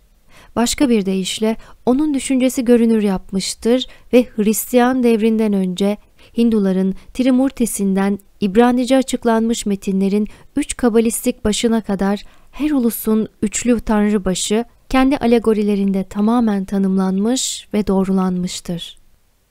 Hristiyan öğretisinde sadece eski gövdenin üstüne yeni bir kısmın suni yerleştirilmişini görürüz. Bildirme anında baş melek tarafından tutulan zambak sembolünün Yunan ve Roma kiliseleri tarafından uyarlanmış olanı da aynı metafizik anlamın bir düşüncesini gösterir. Lotus, ateşin ve suyun ürünüdür. Bundan dolayı da ruh ve maddenin ikili sembolüdür. Tanrı Brahma, üçlemenin ikinci kişisidir. Aynı Yahava, Adam Katmon ve Osiris gibi ya da daha çok Hermes'in Pümenderi veya Tanrı düşüncesinin gücü gibi çünkü Pümender bütün Mısır güneş tanrılarının kökenini temsil eder. Sonsuz olan ateşin ruhudur. Brahma'dan yayılan sudan ya da ilksel topraktan doğmuş her şeye başlatan, verimli kılan ve ona katı şeklini verendir. Fakat evrenin kendisi Brahma ve o da evrendir. Bu Spinoza'nın Pisagor'dan türettiği felsefesidir ve Bruno'nun uğruna canını feda ettiği şeyle aynıdır. Hristiyan teolojisi çıkış noktasında ne kadar saptığını bu tarihsel vakada ortaya koyar. Bruno ilk dönem Hristiyanları tarafından uyarlanan ve havariler tarafından açıklanan bir sembolün kutsal kitap yorumu yüzünden katledildi. Ateş ve suyu ya da yaratım ve doğuş fikrini simgeleyen Bohidisat'ın sonra da Gabriel'in şu zambakları filizi vaftiz ayininin en eski dokmasına dahil edilir. Bruno ve Spinoza'nın doktrinleri hemen hemen aynıdır. Yalnız ikincisinin sözleri daha imalı ve Causa Principio et Uno veya Infinito Universo Mondi'nin yazarı Bruno'nun teorilerinde bulunan sözlerden çok daha sakınılarak seçilmiştir. Bilgisinin kaynağının Pisagor olduğunu itiraf eden Bruno ve açıkça onu tanımadığını söyleyen ve kendi felsefesinde sırrını ifşa eden Spinoza, her ikisi de ilk sebebe aynı görüş noktasından bakmaktadırlar. Onlara göre Tanrı bütün olarak kendiliğinden bir sonsuz ruhtur ve aynı irade yoluyla her kozmik kanuna ilk tesiri veren, daimi olarak varoluşta tutan ve evrendeki her şeyi düzenleyen, meydana getiren, etkilerden ve sebeplerden tamamen özgür ve bağımsız tek olandır. Yanlış bir şekilde ateistler diye adlandırılan Hindu Svabhavikalar her şeyin, insanların, tanrıların ve ruhların da Svabhavadan ya da kendi doğalarından doğduğunu varsayarlar. Spinoza ve Bruno, Tanrı'nın doğanın içinde ve dışında aranması gerektiği sonucuna yönlendirildiler. Çünkü yaratım, yaratıcının gücüyle orantılı olarak evrende yaratıcısı kadar sınırsız ve sonsuz olmalıdır. Kendi özünden çıkan bir form, onun bir diğerini yaratmasıdır. Modern reformcular Bruno'nun diğer ve daha iyi bir dünya ümidiyle sürdüremediğini, inançlarından değil, hayatından vazgeçtiğini iddia ederler. Dolayısıyla Bruno'nun ölümünden sonra insanın varlığının devam edeceğine dair hiçbir inancı olmadığını sonucunun çıkarılmasına izin verirler. Profesör Draper en somut şekilde Bruno'nun ruhun ölümsüzlüğüne inanmadığını savunur. Katolik Kilisesi'nin dini tahammülsüzlüğünün sayısız kurbanlarından söz ederken şöyle ifade eder. Bu hayattan diğerine geçiş zor bir tecrübe yoluyla olsa bile fani bir dertten sonsuz mutluluğa geçiştir. Karanlık vadideki yolunda kurban, orada ona yol gösteren görünmez bir el olduğuna inandı. Bruno için öyle bir destek yoktu. Felsefik görüşleri hayatını temsil ettiği şey uğruna ona hiçbir teselli veremedi. Fakat Profesör Draper'ın, filozofların hakiki inancının sadece çok yüzeysel bir bilgisine sahip olduğu görülüyor. Spinoza'yı konu dışında bırakabiliriz. Hatta onun eleştirilerinin bakış açısında tam bir ateist ve materyalist olarak kalmasına izin verebiliriz. Yazılarında kullandığı tedbir, onun satır aralarını okuyamayan ve Pisagor metafiziğinin saklı anlamıyla hiç tanışık olmayan birinin düşüncelerinin inceliklerini anlamasını son derece zorlaştırır. Ama Bruno'ya baktığımızda şu sonucu çıkarabiliriz. Eğer Pisagor'un doktrinlerine bağlanmışsa diğer bir dünyaya inanmış olmalıydı ve bundan dolayı da felsefesi ona hiçbir teselli sunmamış olamazdı. Suçlanması ve ardından itirafları Profesör Domenico'nun Bruno'nun hayatı çalışmasında görüldüğü gibi ve son zamanda yayınlanan orijinal dokümandan derlendiği gibi onun gerçek felsefesi, inanç ve doktrinlerinin ne olduğunu şüphe götürmez biçimde ispatladı.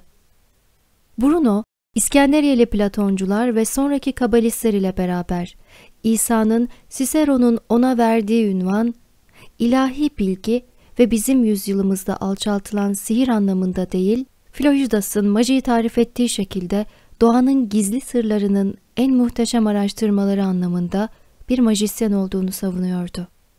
Onun soylu anlayışında maji, kendini bu dünyadaki başka her şeyden çekmiş, ilahi erdemlere kafa yoran, tanrılar ve ruhların ilahi doğasını daha net kavramış ve diğerlerini de bu şekilde bu görünmez varlıklarla hayat boyu aralıksız bağlantıları içeren aynı sırlara inisiye eden mukaddes adamlar anlamına geliyordu.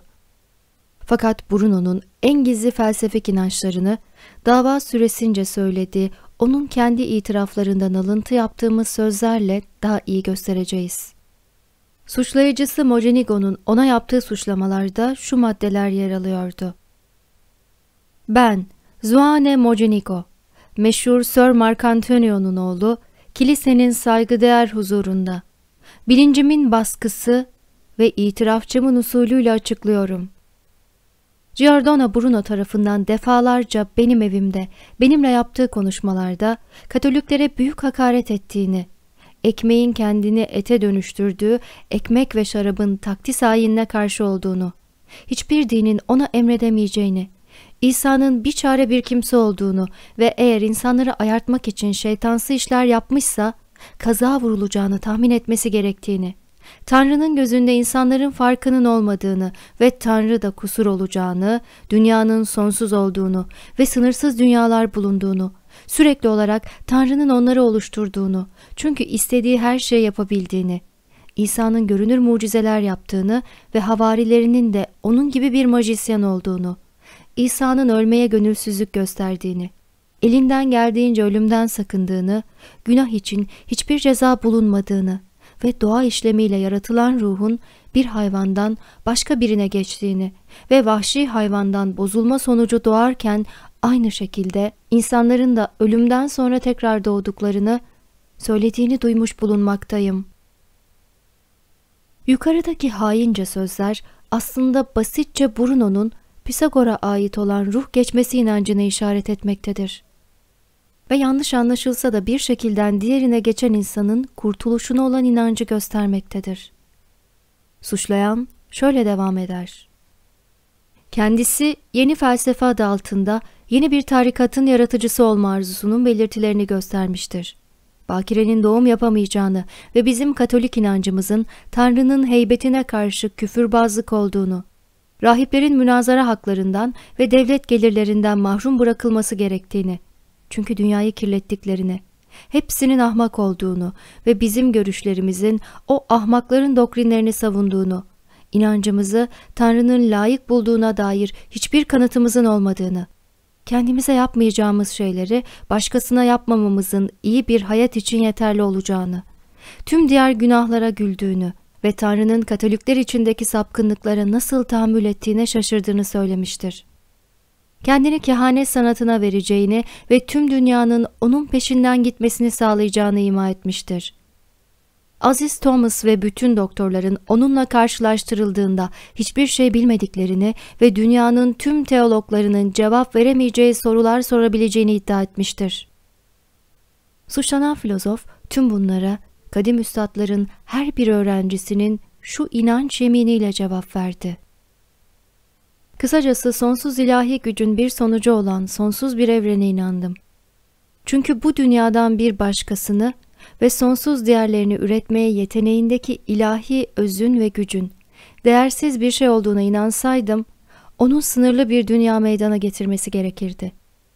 Böylece Pisagor'un dediği gibi bu dünyaya benzeyen sonsuz özel dünyalar olduğunu beyan ettim. Hepsi sonsuz olan diğer yıldızlar, gezegenler ve ayın doğasına benzer bir yıldız olduğunu anladım. Tüm o cisimlerin birer dünya olduğunu ve sayısı olmadığını, bunun da sonsuz bir uzayda sonsuz evrenselliği meydana getirdiğini, sonsuz evrenin sayılamayan dünyalardan oluştuğunu, böylece evrendeki sonsuz büyüklüğün iki misli sonsuz büyüklük ve çeşitli dünyalar olduğunu anladım. Dolaylı olarak bunlar gerçek inanca göre hakikate muhalif olmak şeklinde anlaşılabilir. Bundan başka ben, yaşayan, büyüyen, hareket eden ve kendi mükemmelliğinde duran her kuvvet yoluyla bu evrenin içine evrensel bir ilahi takdir yerleştiriyorum. Ve bunu iki şekilde anlıyorum. Birincisi tüm ruh, bütünün içinde ve oluşumun her parçasında mevcuttur. Ve ben buna doğa diyorum. Tanrısallığın gölgesi ve ayak izi. Diğeri ise tarif edilemez bir biçimde özüyle, varlığıyla ve kudretiyle Tanrı her şeyin içindedir ve hepsinin üstündedir. Sadece parça olarak değil, ruh olarak değil, açıklanamaz bir şekilde. Ayrıca ilahiliğe dayandırılanların hepsinin bir ve aynı şey olduğunu anladım. Teologlar ve büyük filozoflarla birlikte üç niteliğin güç, akıl ve iyilik ya da daha doğrusu düşünce, zeka, sevgi olduğunu, şeylerin ilk düşünce yoluyla oluştuğunu, sonra zeka sayesinde düzenlendiğini ve varlığa ayrıldığını. Üçüncü olarak da sevgiyle uyum ve ahenk olduğunu idrak ettim. Böylece her şeyin içinde ve her şeyin üstündeki varlığın katkı yapmadığı bir şeyin bulunmadığını anlıyorum. Güzellik mevcut olmadan hiçbir şeyin güzel olmaması gibi özü olamayan hiçbir varlık da yoktur. Bu yüzden hiçbir şey ilahi mevcudiyetten ayrı olamaz. Ve bu şekilde cisimsel gerçek yoluyla değil, akıl yoluyla ilahiliği ayırt ediyorum. Öyleyse dünyanın meydana getirildiğini ve üretildiğini varsayarak görüyorum ki o bütün varlığına uygunlukla ilk sebebe bağlıdır. O yüzden yaratım adını reddetmedik ki Aristo da aynı şey ifade etmişti. Tüm dünya ve doğa Tanrı'ya bağlıdır. Ve Aziz Thomas'ın açıklamasına göre ise ister sonsuz, isterse zamanın içinde olsun. Tüm varlığına uygun olarak ilk sebebe bağlıdır. Hiçbir şey ondan bağımsız değildir. Sonra felsefik konuşmadan neyin gerçek inanca ait olduğu konusuna gelince, İlahi kişi bireyselliğine ulaşmak, bilge ve aklın oğlu olmak, filozoflar tarafından zeka, teologlar tarafından söz, emir diye adlandırılan insan etine konmuş olduğuna inanılması gereken şeydir. Fakat ben felsefenin sözlerine göre hareket ederek onu anlamadım.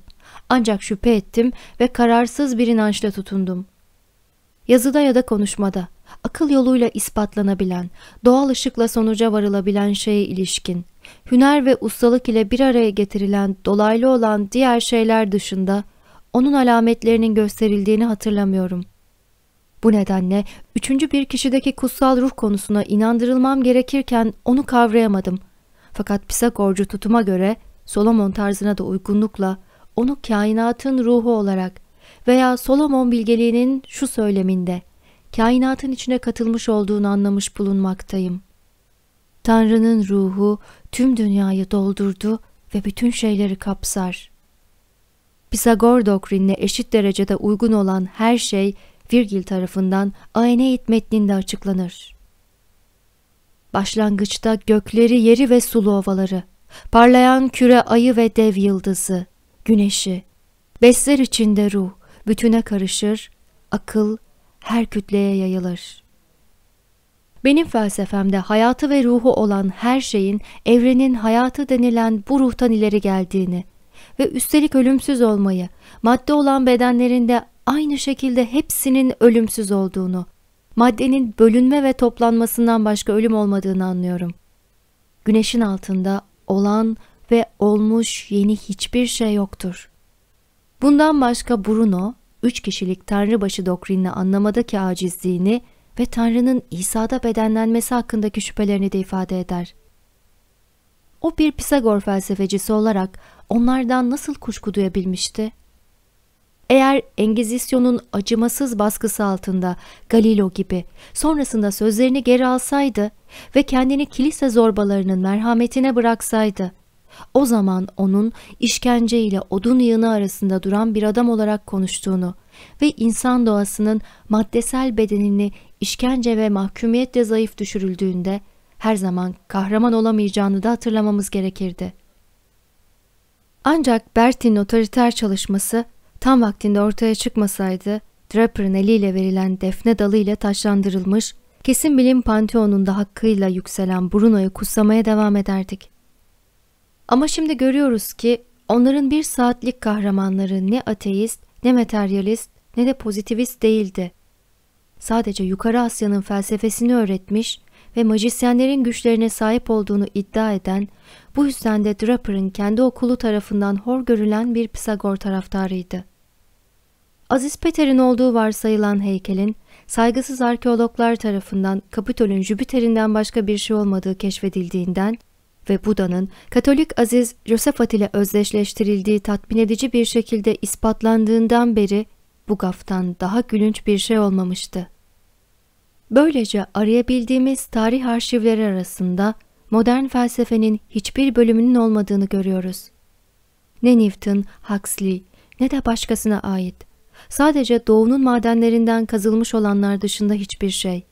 Pozitivizm, nihilizm bile kendi prototiplerini Max Müller tarafından açıkça belirtildiği gibi Kapila'nın felsefesinin genel parçalarında bulurlar. Kusursuz akıl sırlarına nüfuz eden Hindu bilgeleri bizim modern bilim olarak vaftiz ettiğimiz çelimsiz ama gürültücü çocuğun ilk atasının beşiğini sallayan ellerin ilham kaynağıydı.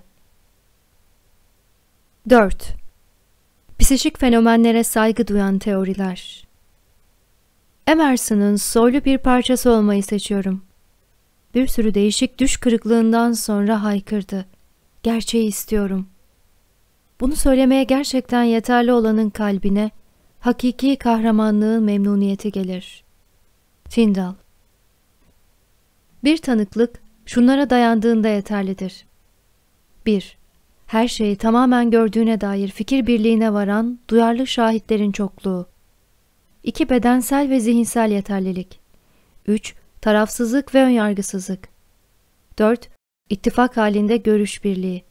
5. Gerçeği resmi olarak belgelemek. Voltaire Felsefe Sözlüğü Kont Egonor de Gasper'in sadık bir protestandı.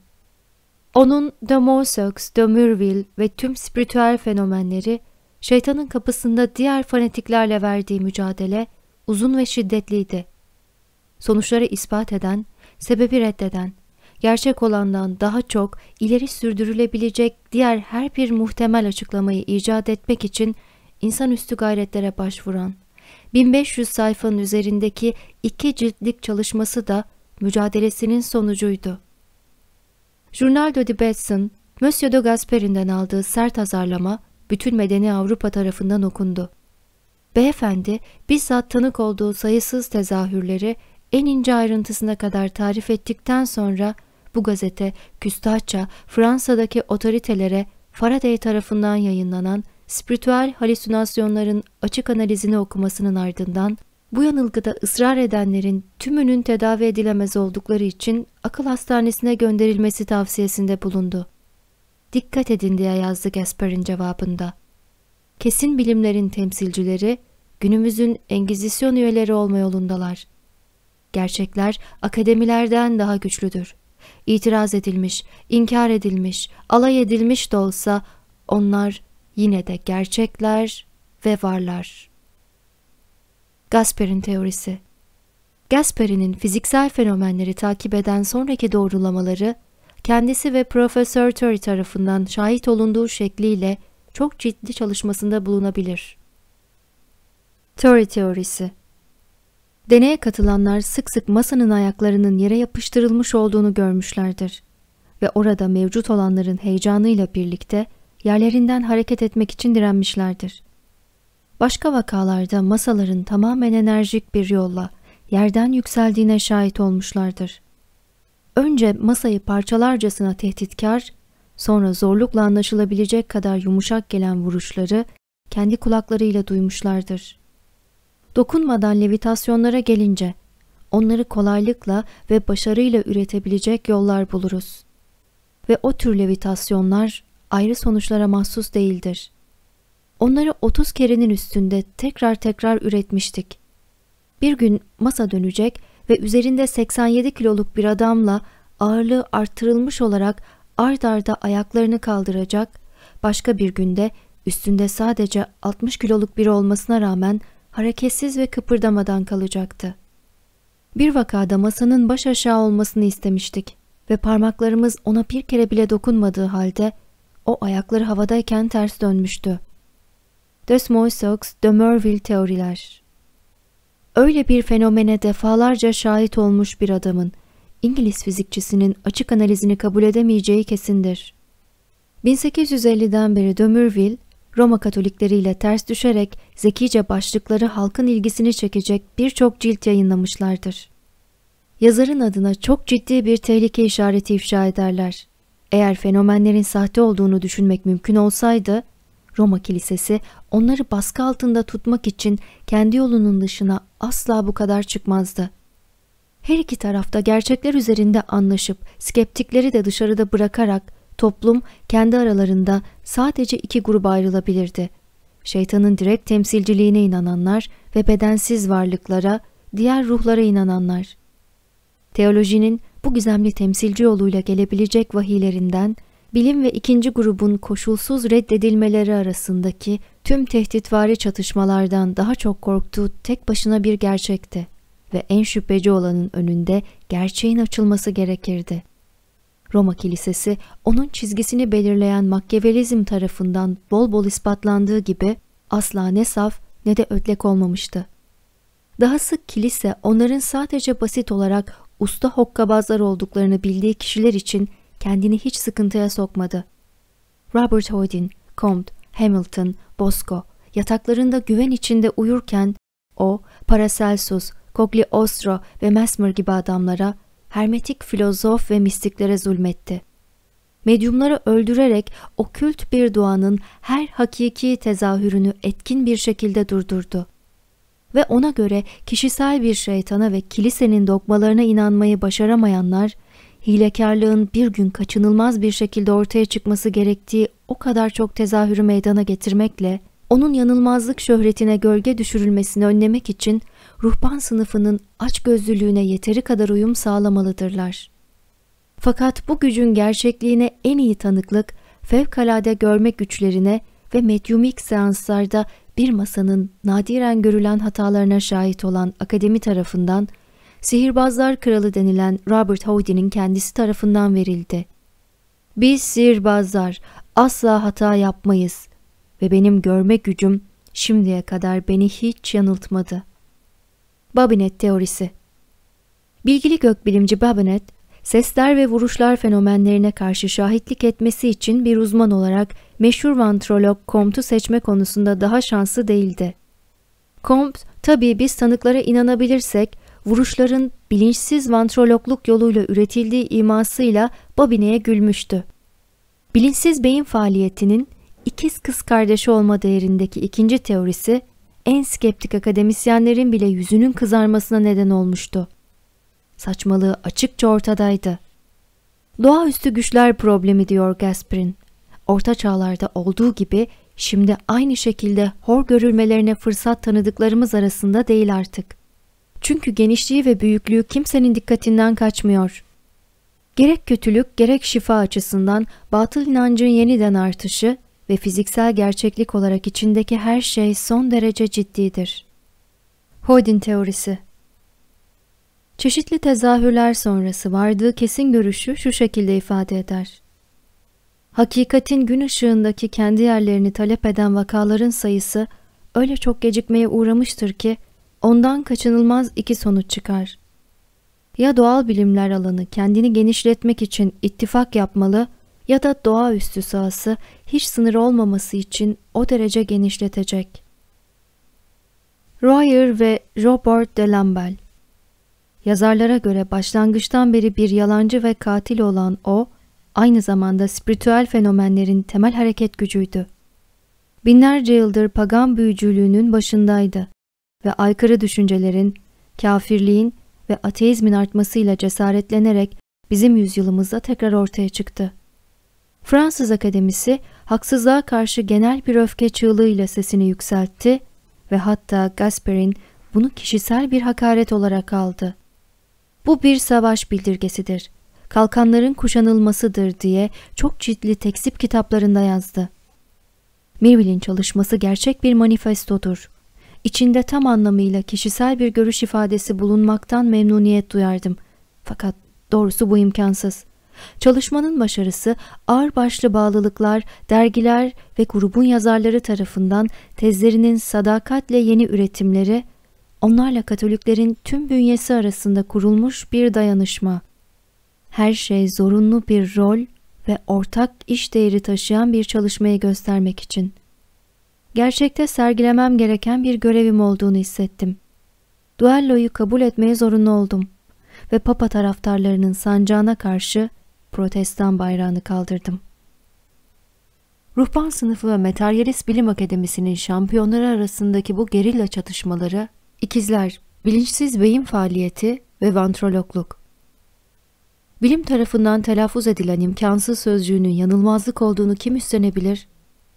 Fakat masalar vals ettirildikten, sallandırıldıktan ve döndürüldükten sonra tıkırdanmaya ve vurulmaya başlanır. Vuruşlar bazen silah patlamaları kadar güçlüdür. Bu neyin nesi? Dinleyin. Tanıklar ve araştırmacılar birer vantrologtur.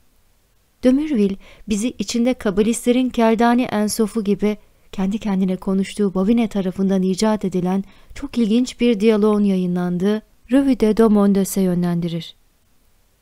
Gözlemlerimiz altında bize getirilen bütün bu gerçekler için son olarak ne söyleyebiliriz? Oradaki vuruşlar üretilmiş midir? Evet. O vuruşlar sorulara cevap veriyor mu? Evet. Bu sesleri kim yönetiyor? Medyumlar. Ne ile? vantrologların sıradan akustik metotlarıyla. Fakat bize bu seslerin ayak ve el parmaklarının çıtırtıları sonucu olabileceği zannı verilmiyor mu? Hayır. Öyle olsa onlar hep aynı noktadan başa dönerdi ve gerçek olan o değildi. Şimdi diye sorar Mirville. Milyonlarca şahidin önünde aynı vuruşları üreten Amerikalılar ve onların binlerce medyumu hakkında neye inanmamız gerekir? Tabii ki vantrologluk diye cevap verir Babine. Fakat böyle bir imkansızlığı nasıl açıklayabilirsiniz? Dünyadaki en kolay şey sadece dinleyin. Amerika'daki ilk evdeki ilk tezahürü üretmek için tüm gerekli olan şey ipe iliştirilmiş kurşundan bir topla gizemli bir hava verilmiş bir vatandaşın kapısını çalan bir sokak çocuğuydu. Ve eğer Mr. Wickman Amerika'daki ilk inanan üçüncü kez seans seyrettiğinde sokakta hiç kahkaha çığlıkları duymadıysa bu aynı bir Fransız caddesi, Arap caddesi ve bir İngiliz caddesi ya da transatlantik gemisi aralarında olduğu gibi temel farklılık sebebiyledir. Fenomenlerin farkından ileri gelir. Demerville, Gasperin, Babine ve diğer bilim adamlarının saldırılarına verdiği meşhur cevapta içtenlikle şöyle der. Ve böylece bizim büyük fizikçilerimize göre masalar çok enerjik olarak döner aynı şekilde direnç gösterir ve Gasperi'nin ispatlamış olduğu gibi temas olmadan havalanır. Bir bakan şöyle demişti. Bir insanın el yazısının üç kelimesiyle onu astırma sorumluluğunu alırım. Yukarıdaki üç satırla da biz bütün yer kürenin fizikçilerini en büyük karmaşanın içine atma ya da dünyayı ayaklandırma sorumluluğunu alıyoruz. En azından Bobine ve Gasper'in henüz bilinmeyen kanun ya da gücü ileri sürmeden önce tedbirini almışlardı. Zira bu tüm zemini kapsardı. Fakat o, spiritüalizm sahasında uzman bir araştırmacı olan Babine'yi, katı tutarlılık ve mantığın zirvesinde bulduğumuz gerçekleri ve fiziksel teorileri kapsayan notlarının içindeydi. Marquis de Murville'in açıkça gösterilen mucizelerle ilgili hikayesinde bazı vakaların hayret vericiliği tarafından oldukça çarpılmış görünüyordu. Ve bu vakalar araştırmadan önce doğruluğu kanıtlanmış olsalar da demonolojik yazarını onları yayınlama sorumluluğundan kaçmaya zorlayacak kadar mucizevi bir doğaya sahiptiler. Vakalar şunlardı. Bir kahin tarafından tam tahmin edilen anda intikam vakası. Papazlara özel bölmenin bacasının üzerinde şiddetli bir yıldırım vuruşu duyuldu. Dehlizden korkunç bir gürültüyle inen sıvı madde, kendilerini şöminenin yanında ısıtan skeptiklere kadar inananları da fırlatıp attı ve odayı çok sayıda fantastik hayvanlarla doldurduktan sonra bacaya geri döndü ve tekrar yukarı çıkarak aynı korkunç gürültüyle kayboldu. Biz diye ekler Mirville. Evvelden vaka bakımından aşırı zengin olduğumuz için bu büyüklükte bir şey diğerlerine eklenmeden önce geri çekildik. Fakat Babine bilgili meslektaşlarının yaptığı gibi iki demonoloji yazarıyla çok fazla alay etti ve ayrıca bütün benzer hikayelerin saçmalığını da ispatlamaya kararlıydı. Ve yukarıda belirtilen fenomenleri daha da dayanılmaz olanını sunarak gözden düşürmeyi kendine görev edindi. Biz bunları Babine'nin kendine bırakıyoruz. Kendisinin 5 Temmuz 1852'de Bilimler Akademisi'ne bildirdiği aşağıdaki vaka, ileriki bir yoruma gerek kalmadan anlaşılabilir ve sadece Aura de Fi Aragot cilt 1 sayfa 52'deki bir ışık küresi örneğiyle bile buna yeterlidir. Kelimesi kelimesine aynen sunuyoruz. Güçlü bir şimşek çakışından sonra der Babine. Fakat hemen arkasından değil. Ruh Saint Jacques'ta yaşayan bir terzi çırağı tam akşam yemeğini bitirmek üzereyken şömine kapağının sanki orta şiddette ani bir rüzgarla itilmişçesine yere düştüğünü gördü. Hemen sonra sessizce ve yumuşak bir şekilde şömineden çıkan ve odada yerin taşlarına dokunmadan yavaşça hareket eden çocuk kafası genişliğinde bir ateş küresi fark etti. Bu ateş küresinin görünüşü kendini pençelerini kullanmadan hareket ettiren orta boyda bir kedi gibiydi. Ateş küresi sıcak ya da kızgın olmaktan daha çok parlak ve aydınlıktı ve terzi hiçbir sıcaklık duygusu hissetmedi. Küre oynamak isteyen küçük bir kedi gibi onun ayaklarına yaklaştı ve kedilere mahsus olan alışkanlıkla bacaklarına süründü. Fakat terzi çırağı ayaklarını ondan çekti ve azami bir dikkatle hareket ederek bu meteor ile temastan kaçındı. O birkaç saniye onun ayaklarının etrafında dolanırken adam büyük bir merakla ona doğru eğilmiş inceliyordu. Ateş küresi sürekli değişken yönlerde birkaç gezinti daha denedikten sonra odanın merkezinde durarak onunla temastan kaçınmak için kendini geriye sandalyenin üstüne doğru fırlatan adamın başının seviyesinde yukarı doğru yükseldi. Yerden bir yarda kadar yüksekliğe geldiğinde ateş küresi hafifçe uzadı. Şöminenin üzerindeki duvarda bir metre yüksekte bulunan bir deliğe doğru eğimli bir şekilde yöneldi. Bu delik kışın bir soba borusunu içeriye almak amaçlı yapılmıştı. Fakat terzinin ifadesine göre şimşek önce onu görememişti. Çünkü duvarın geri kalanı gibi kağıtla kaplıydı. Ateş küresi doğrudan o deliğe doğru gitti. Zarar vermeden kağıdı çıkardı ve tekrar bacaya doğru yükseldi. Ve tepeye geldiğinde ki bunu da yavaşça yapmıştı. En azından yerden 60 fit yüksekteyken bacanın bir kısmını harap eden korkunç bir patlama meydana geldi. Öyle görünüyor ki diye belirtir Mirville. Çok nükteci bir kadının Ryan'la söylediği şu sözü Babine için uygulayabiliriz.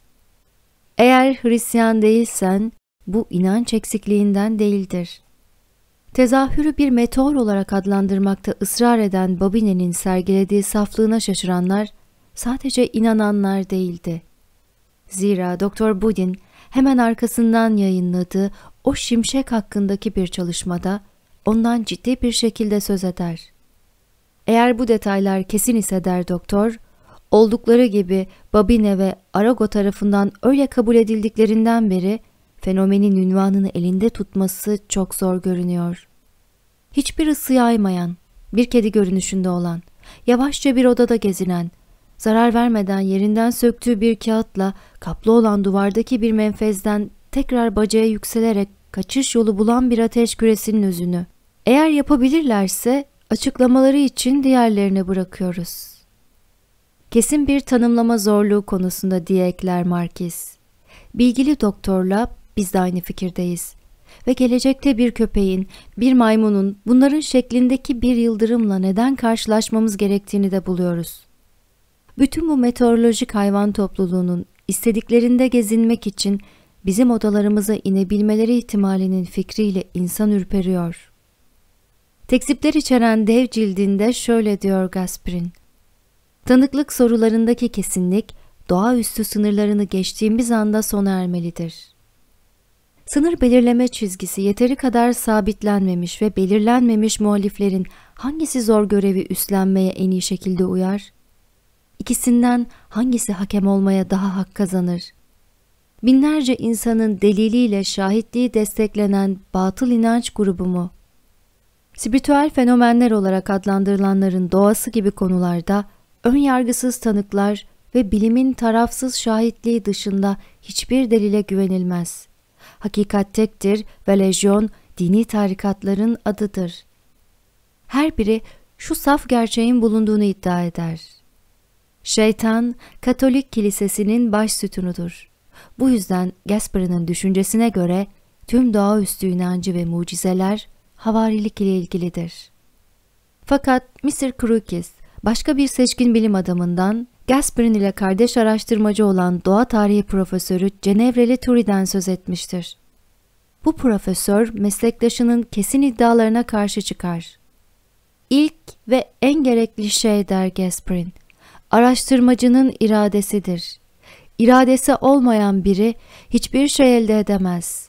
Arka arkaya 24 saat bir daire masada oturanlar oluşturursunuz. Ama en ufak bir hareket elde edemezsiniz. Yukarıdaki sadece Gasper'inin tek bir medyum bile olmadan da oturanların azimkar iradesiyle üretilen, geliştirilmiş ya da geliştirilmemiş fenomenlerle spiritüel diye adlandırılan arasında hiçbir fark görmediğini kanıtlar. İlki neredeyse sabit ve belirli bir iradeye sahip olan herkes tarafından bilinçli olarak üretilebilirken diğeri hassas olanı çoğunlukla kendi isteğine boyun eğdirir ve daima ondan bağımsız hareket eder. Manyetizmacı bir şey diler ve yeterince güçlüyse o şey gerçekleşir. Medyum başarıya ulaşmak için dürüst bir amaca sahip olsa da hiçbir şekilde tezahürler elde edemeyebilir. İradesini ne kadar az çalıştırırsa fenomenler o derece daha iyi olur. Ne kadar az endişe duyarsa bir şey elde etmeye o kadar yakın olur. Hipnotize etmek kesin bir irade. Medyum olmak ise tamamen pasif kalmayı gerektirir. Bu spiritüalizmin alfabesidir ve hiçbir medyum ondan habersiz değildir. Crookes teorisi Bilgili vaiz Louis Philippe'e göre insan iradesinin cansız madde üstünde çok fazla gücü vardır. Fakat ya masa ile sergilenen zekaya ne demeli? Bu masanın aracısı ile elde edilen cevaplara verdiği açıklama nedir? Onların kendi fikirleri bu mucizevi masa tarafından verilen çok liberal felsefenin tamamen tersi olduğu için oturumda bulunanların beyin yansımaları ihtimali bile olmayacağının cevapları mıydı? Bu konuda sessiz kalır. Ruhlar dışında her şey olabilir. Ya insan, ya şeytani ya da bedensiz varlıklar. Ölümden sonra ayrılan insan ruhları teorisini inkar eden Profesör Thury, Hristiyan iblis doktrinini de reddeder ve Krok'un mektubunda söylediği gibi en sağduyulu ve onu her birinin karşısında güçlü hissettiren Hermetist ve eski büyü bilimcilerin uyguladığı altıncı teorisinin lehine eğilim göstermeye desteksiz görünür. Dahası Gasper'in bilinçsiz irade gücü hipotezinin bir kısmını kabul eder. Çalışmasında söylediği şey şudur. Bildirilen fenomenlere gelince, temas olmadan levitasyon, görünmeyen ellerle masanın yerinden kalkması gibi imkansızlıkları daha öncesinde ortaya koyamıyorlar. Bu yüzden meydana gelişlerini doğrulayan ciddi delilleri saçmalık olarak göstermeye kimsenin hakkı yoktur. Gasparin'in önerdiği teoriye gelince de, teori onu sert bir biçimde eleştirir. Valeris deneylerinde der Mirville, gücün bulunduğu yer birey olabilir ve biz onun aynı zamanda ikincil olduğunu söyleriz. Ve iradenin genel olarak gerekli olabileceğini kabul ederken, sadece ön sözünde söylemiş olduğu şeyi tekrarlar. Gasperin bize tam işlenmemiş gerçekleri sürer. Arkasından değeri belli olmayan açıklamalar sunar. Onlarda nefes alın ve bundan sonra ayakta duracak birçok şey bulunmayacak. Mr. Crook'un bize söylediği gibi Profesör Turry bütün bu açıklamaları çürütür ve bilim adamlarının ışık saçan eterine benzer bir şekilde yayılan tüm maddesi organik ya da inorganik olan özel bir öz. Akışkan ya da araçtan doğan etkileri göz önünde bulundurur. Bu halin ya da formun veya maddenin niteliklerine ilişkin tam tartışmasına girer ve ektenik güç terimini ileri sürer. Zira zihin belli bir mesafede saykot tesiri vasıtasıyla işlev yaptığında güç sarf edilir. Mr. Crook'e ayrıca Tory'nin ektenik gücü ve kendi psişik güç terimlerinin kesinlikle eşit terimler olduğunu ifade eder. Biz kesinlikle çok kolay bir şekilde, üstelik simyacıların ve Elif Aslevin'in açıkladığı astral ya da yıldız ışığı gibi iki gücün özdeş olduğunu gösterebilirdik ve Akasha veya yaşam prensibi adı altında bu her yere yayılan güç, Hindu filozofları, majisyenleri ve tüm ülkelerin ustaları tarafından binlerce yıl öncesinde biliniyordu. Hala da bilinmekte olup Tibet rahipleri, Hint fakirleri ve tüm ulusların maji bilimcileri hatta Hindu sihirbazları tarafından kullanılmaktadır. Birçok trans vakasında manyetizma ile yapay olarak etki altına alma mümkündür. Hatta uygulayıcının iradesinin rehberliğinde davrananın subjenin ruhu olduğu tamamen akla yatkındır. Fakat eğer medyum bilinçli kalırsa ve yönlendirilen bir zekayı işaret eden psikofiziksel fenomenler meydana gelirse, o zaman onun bir majisyen olduğu ve kendi ikilisini yansıtabileceği kabul edilmedikçe, fiziksel tükenişi sinir yorgunluğundan başka hiçbir şeyi göstermez. Onun okült etkileri kontrol eden, görünmeyen varlıkların pasif aracısı olduğu delili kesin görünmektedir. Turing'in ektenik, Kruk'un da psişik gücü esasen aynı kökendendir. Sırasıyla kaşiflerin bu gücün etkileri ve nitelikleri konusunda geniş ölçüde ayrı düştükleri görülüyor. Profesör Torres samimi olarak fenomenlerin sıklıkla insan olmayan iradeler tarafından üretildiğini kabul eder ve bu yüzden elbette Mr. Kuruk'un Altınoğlu teorisine nitelikli bir destek verecektir. Fenomenlerin gerçekliğini kabul eden Kruk'i, onların sebeplerine ilişkin henüz kesin bir görüş belirtmemiştir. Böylece ne bu tezahürleri 1854 yılında Gasperin ile birlikte araştıran Torrey, ne de onların inkar edilmez gerçekliğini 1874'te kabullenen Crookey kesin olarak herhangi bir şeye ulaşmamışlardır. Hem kimyacılar hem de fizikçiler bilgili adamlardır. Tüm dikkatlerini kafa karıştırıcı meseleye vermişlerdir. Ve bu iki bilim adamından başka aynı sonuca geldiklerinde bugüne kadar son bir çözüm sunamamış daha pek çokları vardır. Onları takiben 20 yılda hiçbir bilim adamı bir peri masalındaki efsunlu bir şatonun duvarları kadar kolay etkilenmeyen ve ele geçirilemez sırrı aydınlatan tek bir adım atmamıştır. Belki bizim modern bilim adamlarımızın kısır döngü içinde olduğu kanaatine varmak çok mu yersiz olurdu?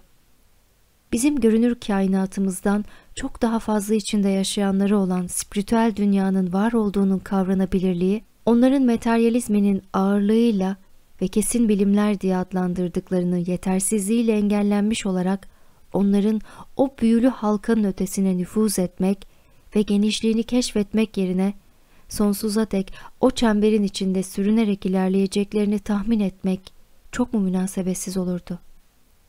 İşte onları sağlam temelli gerçeklerle uzlaşmaktan, Dupotet ve Ragazzoni gibi uzman manyetizmacılarla birlik arayışından uzak tutan bu önyargıdır. O halde ölümden ne doğar diye sordu Sokrates. Hayat diye cevap verdi Sebes. Ruh ölümsüz olduğundan yok olabilir mi? Tohum gelişemez. Tüketilen kısmı içinde olmadıkça der Profesör Lecomte ve ölmezse dirilemez der St. Paul. Bir tomurcuk çiçek açar, sonra solar ve ölür. Narin yaprakları sadece bir toza dönüştükten sonra da hala havada uzun süre kalan bir koku bırakır. Bizim maddi duyumuz farkında olmayabilir ama o yine de var olur. Bir enstrümanın üstünde bir notaya vurulsa en küçük ses sonsuz bir yankı üretir. Uzayın kıyısız okyanusunun görünmeyen dalgalarında bir karışıklık yaratılsa titreşim asla tamamen kaybolmaz. Enerjisi madde okyanusundan maddesel olmayan dünyaya bir kere taşındığında sonsuza dek yaşayacaktır. Ve insan, inanmamız istenen insan, yaşayan, düşünen, akıl yürüten varlık. Bizim doğamızın en parlak şaheseri, yaşayan bedenini tahliye edecek ve bir daha hiç olmayacak. Süreklilik ilkesi madde için, yüzen bir atom için bile var olurken, nitelikleri, bilinç, hafıza, akıl ve sevgi olan bir ruh için nasıl inkar edilebilir? Doğrusu çok mantıksız. Gerçekten ne kadar çok düşünürsek, ne kadar çok öğrenirsek, bilim adamının ateizmi için açıklama yapmak bizim için o kadar zor olur. Doğa kanunlarından bir haber, ne kimya, ne fizik bilgisi olmayan bir adam, kaçınılmaz olarak cahilliği yüzünden kesin bilimlerin felsefesini anlama ya da kıyaslama yöntemiyle görünenden görünmeyene bağlantı kurarak herhangi bir sonuca varma kapasitesi olmadığından materyalizmin içine çekilebilir. Doğuştan metafizikçi olan biri, bilgisiz bir hayalci, birdenbire uyanabilir ve kendisine şöyle diyebilir. Onu hayal ettim. Düşündüğüm şeyle ilgili hiç elle tutulur delilim yok. O bütünüyle ilizyon. Fakat evrensel enerjinin özellikleriyle tanışık olan bir bilim adamı için hayatın sadece maddesel bir fenomen, bir enerji türü olduğunu iddia etmek, maddenin bile alfa omegasını tam olarak anlama ve analiz etme konusundaki kapasitesizliğini basitçe itiraf etmesi demektir. İnsan ruhu konusundaki ciddi şüphecilik bir hastalıktır. Fiziksel bir beyin kusurudur ve her çağda var olmuştur. Bebekler başlarının üzerinde bir zarla doğarken ruhsallık organlarını kaplayan o türcenin zarından son saate kadar kendilerini kurtarmaktan aciz insanlar da vardır. Fakat onlara ruhsal ve mucizevi fenomenleri kabul ettirmeyen şey tamamen başka bir duygudur. O duygunun gerçek adı kibirdir. Biz onu ne üretebilir ne de açıklayabiliriz. Buna göre o var olmaz, dahası var olmamıştır. İşte bizim günümüz filozoflarının çürütülemez iddiası budur. 30 yıl kadar önce Salvarte Sihrin Felsefesi adlı çalışmasıyla her şeye inanan safların dünyasını ürkütmüştü. Kitap, pagan tanrılarının ve İncil'in tüm mucizelerinin perdesini kaldıracağını ileri sürüyordu. Özeti şu şekildedir.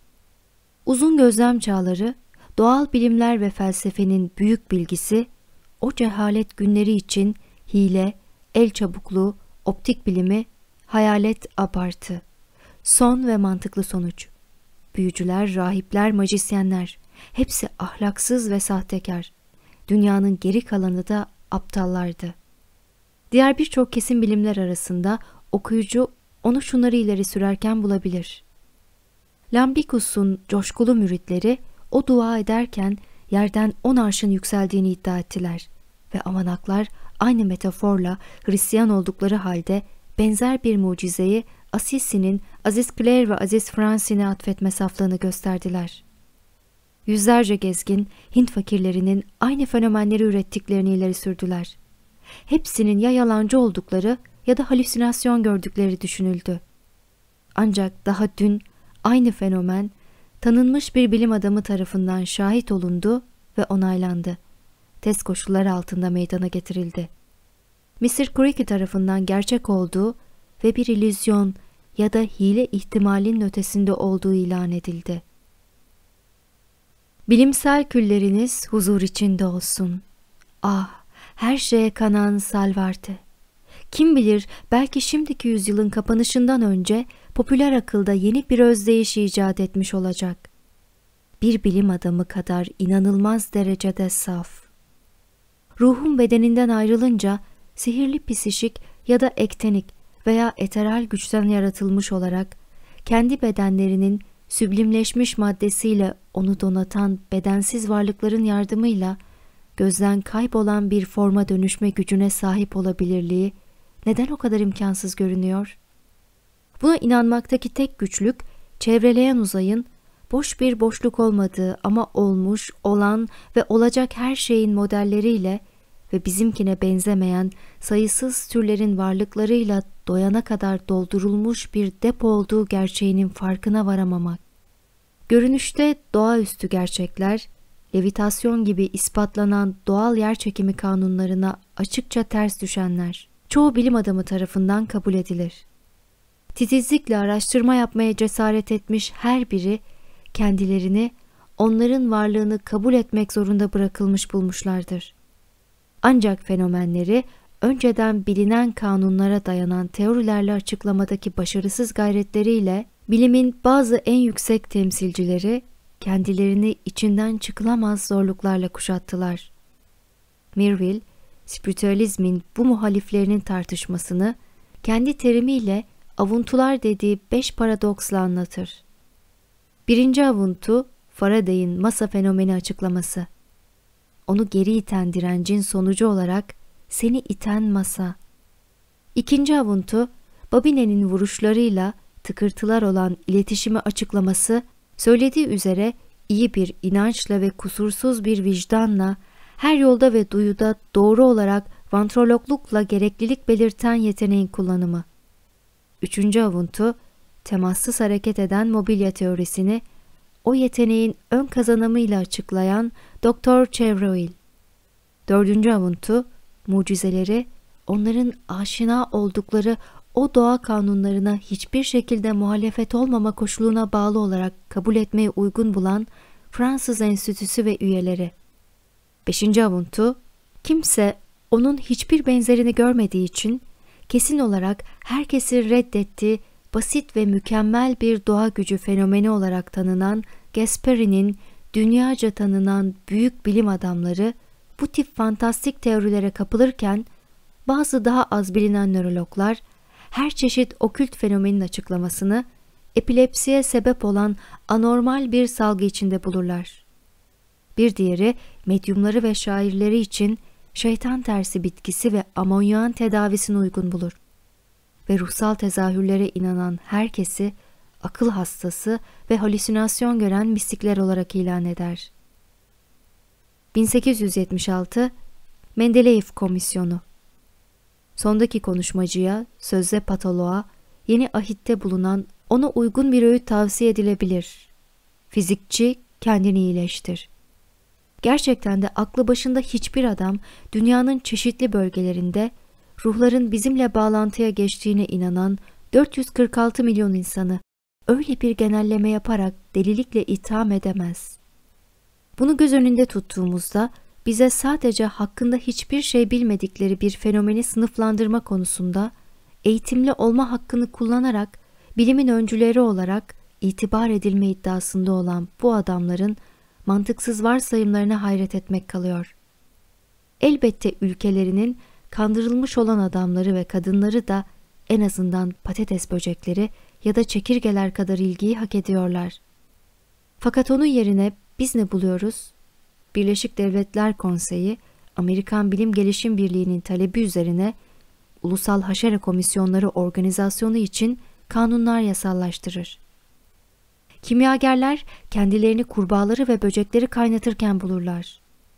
Jeologlar zırhlı parlak pullu balıkların osteolojik muayenesiyle oyalanırlar. Ve çeşitli jeolojik zaman canlılarının diş bilimini tartışırlar.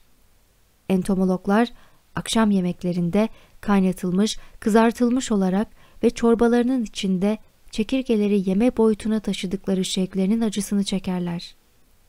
Bu arada milyonlarca Amerikalı, bu çok bilgili ansiklopedistlerin bazılarının görüşüne göre ya çılgın yanılgılarının labirentinde kendilerini kaybediyorlar ya da medyumluk zayıflığının getirdiği sinir sistemi bozukluğunda helak oluyorlar. Bir zamanlar Rus bilim adamlarının fenomenlerle ilgili özenli ve tarafsız bir çalışma görevini üstlenmelerini ümit etmek için bir sebep vardı. St. Petersburg Imperial Üniversitesi tarafından başında büyük fizikçi Profesör Mendeleev olmak üzere bir komisyon tayin edildi.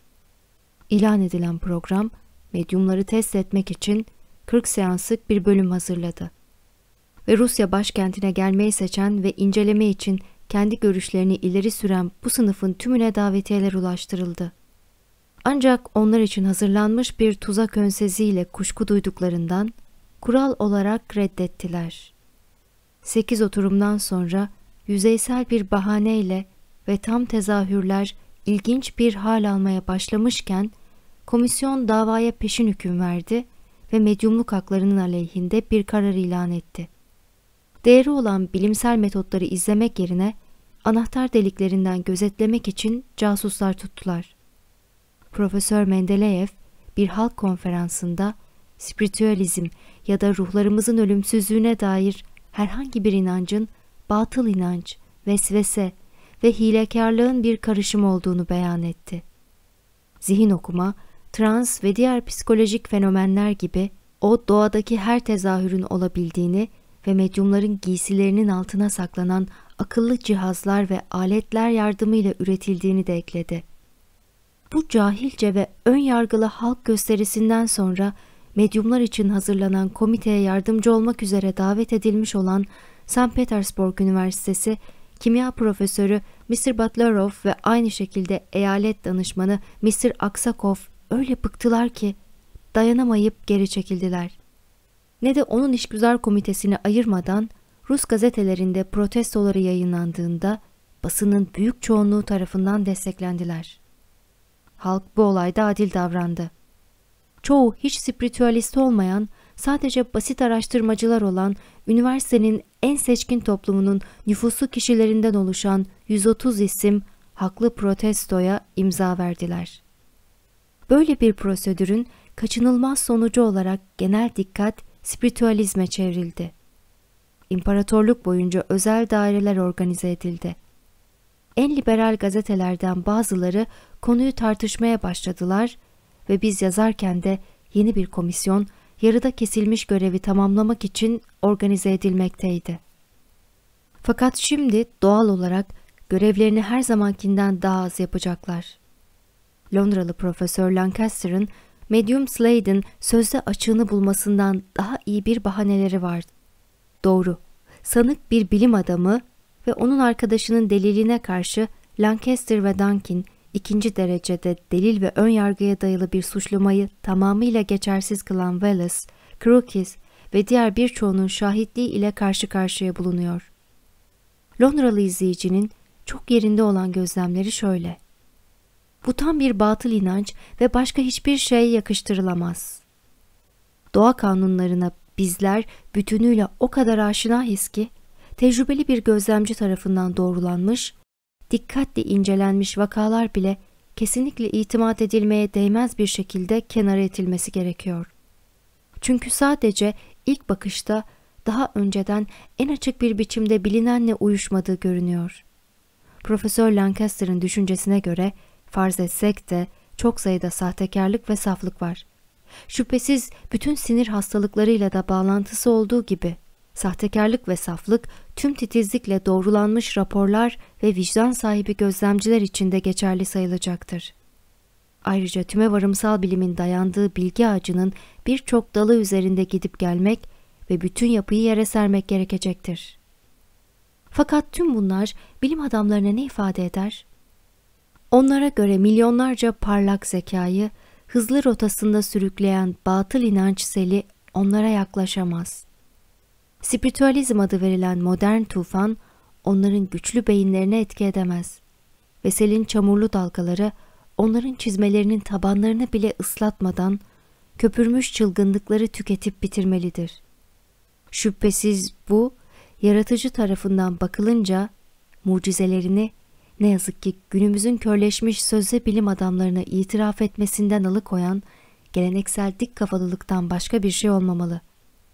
Oysa yaratıcının şimdiye kadar bu bilim adamlarının üniversiteleri ve yüksek okullarının görüşleri üzerine uzun zaman önce şöyle yazmaya karar verdiklerini bilmesi ve farkına varması gerekir.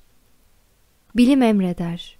Tanrı burada mucizeler yaratmayacaktır. İnançsız spiritüalistler ve Ortodoks Roma Katolikleri her iki tarafta bu yıl materyalizmin ikonoklastik görüşlerine karşı ittifak etmiş görünüyorlar. Şüpheciliğin artışı son zamanda tıpkı her şeye inananların artması gibi gelişme göstermektedir. İncil'in ilahi mucizeler şampiyonları ile kaside yazarının medyumluk fenomenleri rekabet eder ve orta çağlar 19. yüzyılda yeniden hayat bulur. Bir kere daha Bakire Meryem'in kilisesinin inançlı çocuklarıyla mektupla haberleşme sürdürdüğünü görürüz. Melek arkadaşlar medyumlar aracılığıyla spiritüalistlere anlamsız yazı ve çizgi mesajları yollarken Tanrı'nın annesi cennetten direkt yeryüzüne harfler düşürür. Notre Dame de Lourdes Tapınağı materyalize olmalar için spiritüalist bir bölmeye dönerken popüler Amerikan medyumlarının odaları oradaki karanlık nehirden inerek parlak ışıkta materyalize olan Muhammed, Piskopos Polk, John Dirk ve diğer soylu ruhların girdiği kutsal mabetlere dönüşürler. Ve eğer Bakire Meryem, Lord civarındaki ormanlarda günlük yürüyüşünü yaparken tam insan formunda görülüyorsa neden İslam'ın öncüsü ve son piskopozda görünmesinler? Ya her iki mucize de mümkün ya da bu tezahürlerin ilahi ve spiritüel çeşitleri adı çıkmış sahtekarlıklardır.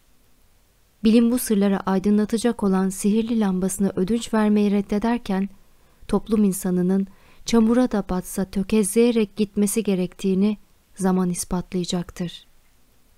Lourdes'daki son mucizeler Londra gazetelerinde zarar görecek şekilde tartışılırken Monsignor Capel Times'a Roma Kilisesi'nin görüşlerini şu şekilde aktarır.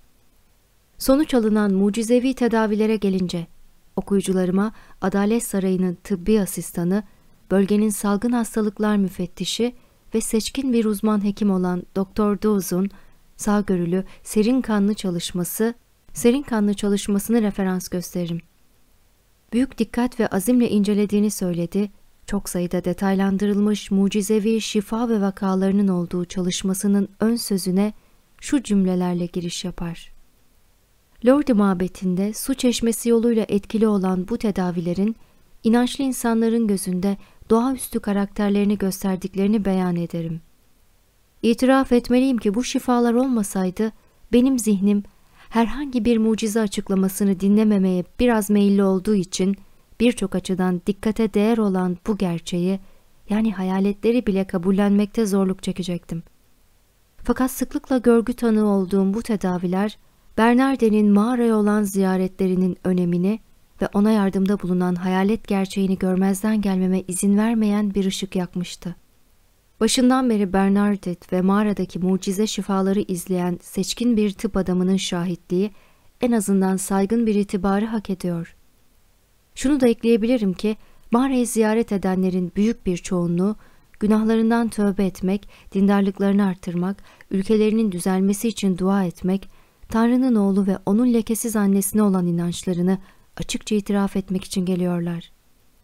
Birçoğu da bedensel rahatsızlıklarını şifalandırmak için gelirler ve görgü tanıklarının şahitliğinde hastalıklarından kurtularak evlerine geri dönerler. Ayrıca sizin makalenin yaptığı gibi pirenelerin suyunu kullananları inançsızlıkla suçlamak, tıbbi yardım almayı ihmal ettikleri için hasta insanları cezaya çarptıran hakimlerin inançsızlıkla suçlanmaları kadar akla yatkındır. Sağlığım beni 1860-1870 yılları arasındaki kış mevsimlerini Pau'da geçirmeye zorladı. Bu bana Lourdes'deki hayalet ile ilgili en ince ayrıntıya kadar araştırma yapma fırsatı verdi. Bernadette ve etki gösteren mucizelerin bazılarının sık ve uzun incelemelerinden sonra eğer gerçeklerin insan tanıklığında elde edilmesi gerekiyorsa o zaman Lourdes hayaletinin inkar edilmez bir gerçek olarak her hakka sahip olduğuna emin oldum.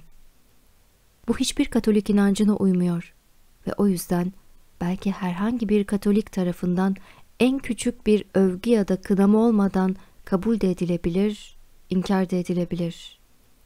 Katolik kilisesinin yanılmazlığı ve cennetin krallığı ile olan anlaşmasına rağmen insan tanıklığındaki ilahi mucizelerin geçerliliğini kabul etmeye bile razı olması bunu daha iyi açıklar. Şimdi Mr. Huxley'in New York konferansları raporuna döndüğümüzde onu şöyle söylerken buluruz. Geçmişin yapılanları hakkındaki bilgimizin daha büyük bir kısmı tarihsel insan deliline dayanır. Ruh körlüğü Burada her bir inancın ön yargısına uyan gerçekleri ispatlayan, insan şahitliğinin yeterliliği konusunda kesinlikle aynı görüşü ifade eden materyalist bir temsilcimiz ve yüksek rütbeli bir katolik temsilcimiz var.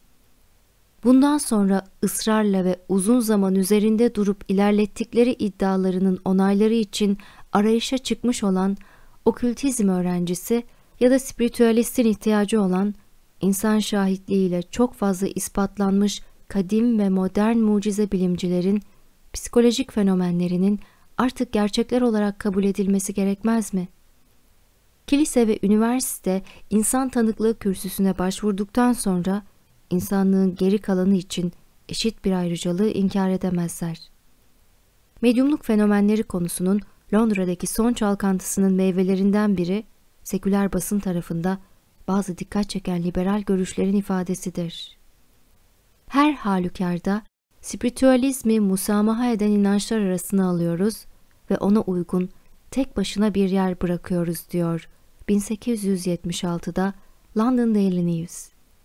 Bizim çocuğumuz kadar zeki taraftarları var ve onlar için ikna edilmesi gereken delildeki açık ve somut kusur çok önceden ortada ve somut olmalıdır. Dünyanın en akıllı adamlarından bazıları hayaletlere inandı ve birbiri ardına yarım düzine kişi insanları taklit goblinlerle korkutmaktan suçlu bulunmuş olsa bile inanmaya devam etmiş olacaklardı. Görünmeyen alemin ruh görü sadukilerin materyalist şüpheciliklerine karşı mücadele vermek zorunda kalması dünya tarihinde ilk değildi. Plato böyle bir inançsızlıktan yakınır ve bu habis eğilimi çalışmalarında bir defadan daha fazla konu eder. İsa'dan yüzyıllar önce veç halinde bir kişinin ilahi varlığı görebilme ve en yüksek varlıklarla konuşma gücüne sahip olma iddiasına itiraz eden Hindu filozofu Kapila'dan itibaren diğer insanlarca kutsal sayılan her şeye gülen 18. yüzyıl Voltaire taraftarlarına kadar her devrin kendi inanmayan Toms'ları vardı. Peki onlar hakikatin gelişimini kontrol etmekte hiç başarı sağladılar mı? Galileo'nun yargılanmasında bulunan, dünyanın dönüşünün ilerlemesini kontrol eden cahil bağnazlardan daha fazlası olmamıştır. Ne olursa olsun hiçbir vahiy insanlığın ilk türlerinden miras aldığı bir inancın değişmezliğini ya da değişkenliğini kuvvetli bir derecede etkileyemez. Ve o ilk türler eğer biz fiziksel olana inandığımız gibi spiritüel insanın evrimine de inanıyorsak atalarının ağzından büyük hakikati aldılar. Onların babalarının tanrıları tufanın diğer yakasında olanlardı. Eski ve yeni ahitin Hint kutsal kitapları efsaneleri ve diğer ulusların kozmogonileriyle olan benzerliği gelecekte bir gün ortaya çıkarılmalıdır. Mitler çağları efsanelerinin, jeoloji ve antropolojinin sadece alegorize edilmiş gerçeklerinden oluştuğu görülecektir. Anlamsız bir şekilde ifade edilmiş bu efsanelerde bilim kendi kayıp bağlantılarını aramak zorunda kalacaktır. Aksi halde sırasıyla ulusların ve insanların tarihinde o kadar yaygın olan o tuhaf tesadüfler nereden çıkıyor? Gerçi şimdi adlandırılmış olsalar da popüler süsleme kabuklarıyla kalın bir şekilde kaplanmış ama yine de bir gerçek olan tarihsel gerçeklerin çekirdeğini içinde barındıran mitler ve efsanelerin benzerliği nereden geliyor? Genesis 6. bölümün şu ayetini Brahmanların inişinden söz eden Vedalardaki Hindu kozmogonisiyle kıyaslayalım. Yeryüzünde insanlar çoğalmaya başladığında üzerinde kızlar doğdu ve Tanrı insan kızlarının güzel olduğunu gördüler ve tüm seçtiklerinden eşler aldılar. O günlerde yeryüzünde devler vardı vesaire vesaire. İlk Brahman bütün inanç kardeşleri arasında bir eşi olmadığı için şikayet eder.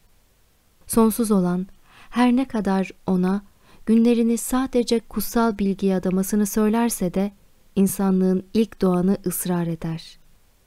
Böylesi bir nankörlükle kışkırtılınca sonsuz Brahman'a bütün Brahmanların anne tarafı olarak kendi soyundan geldiğini, Daintlerin ya da devlerin soyundan bir eş verir.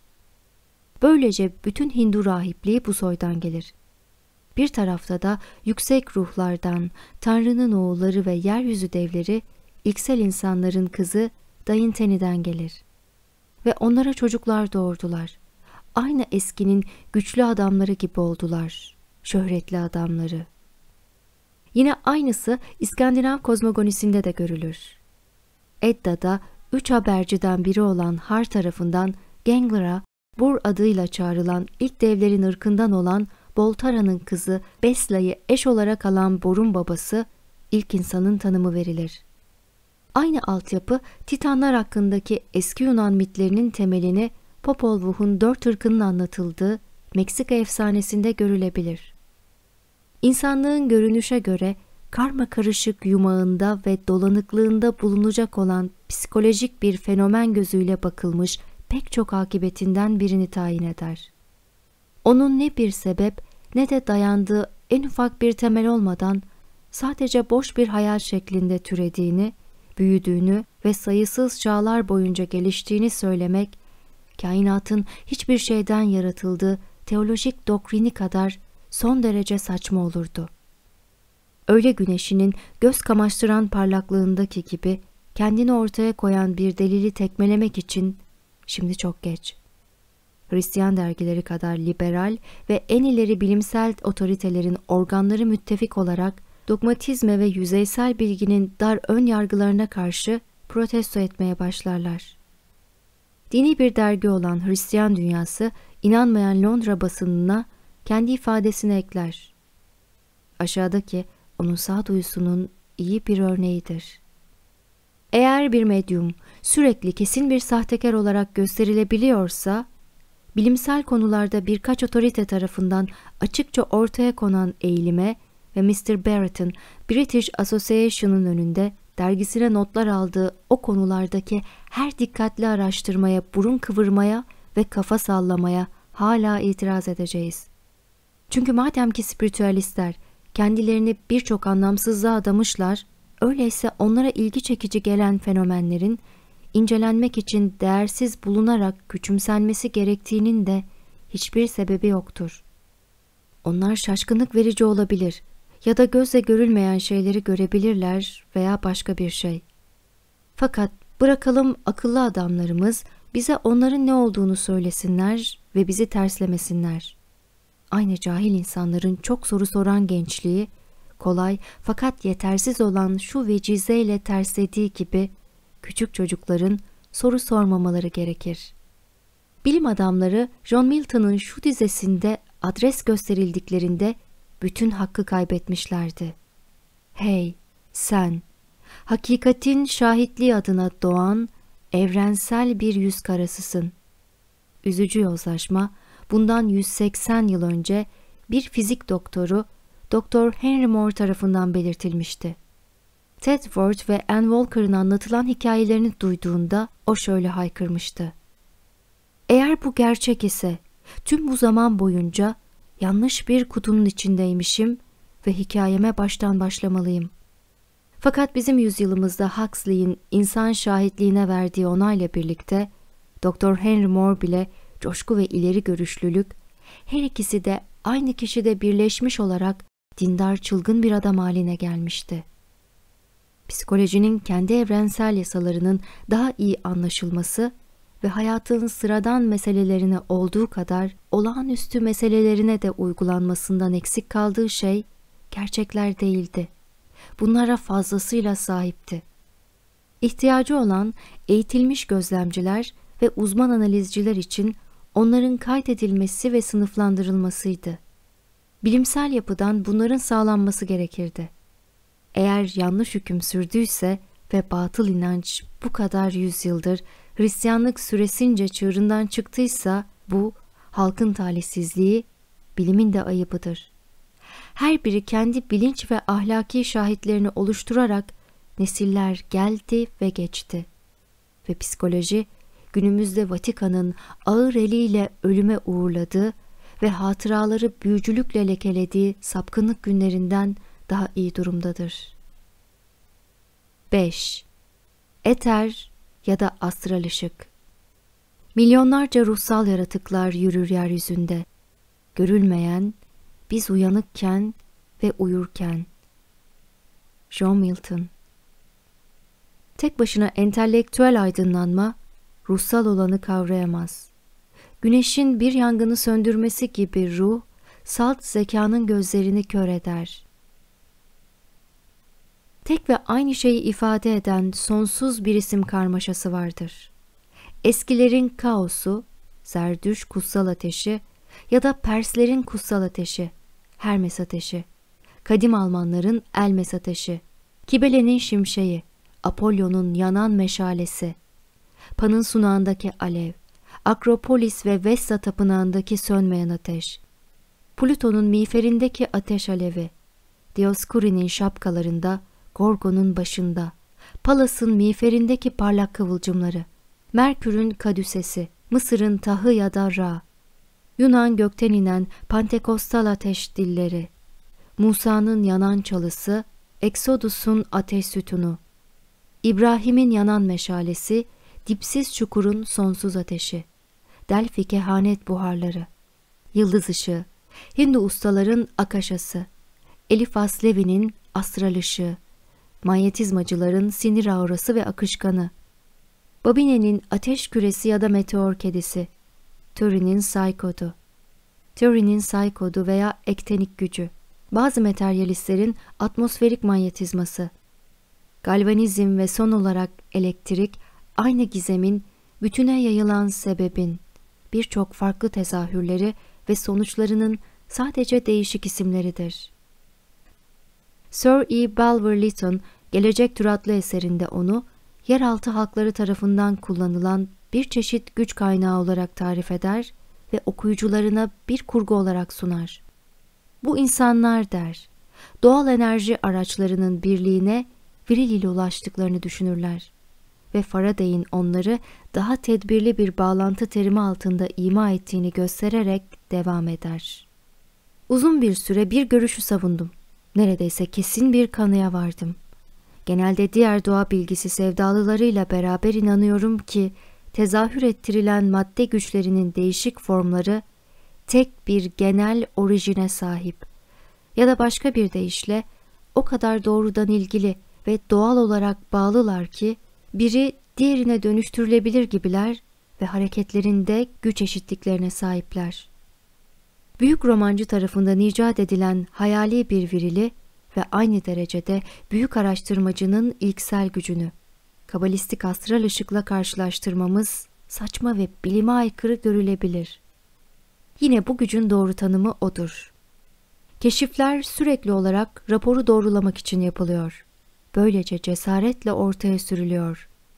Balver Lytton'ın kitabının bir bölümünü yazmaya başladığımızdan beri New York, New Jersey'de elektrikçi Miss Redison tarafından iletkenlik prensibi hariç elektrik ya da galvanizm ile benzer yeni bir gücün farz edilen keşfi hakkında birçok gazetede bir bildirim yapılmaktadır. İspat edilirse uzun bir süre takma isimler altında kalabilir. Fakat yine de bizim kabalistik annemiz Asral Bakire tarafından zamanın başlangıcından getirilen çocuklarının sayısız ailesinden biri olacaktır. Aslında kaşif diyor ki O hem ayrı hem de ayrıca sıcaklık, manyetizma ya da elektrik kadar düzenli kanunlara sahip. Keşfin ilk açıklamasını içeren gazete ekliyor. Mr. Edison onun ısı ile bağlantılı olarak var olduğunu ve aynı zamanda bağımsız ve henüz keşfedilmemiş araçlar tarafından üretilebileceğini düşünüyor.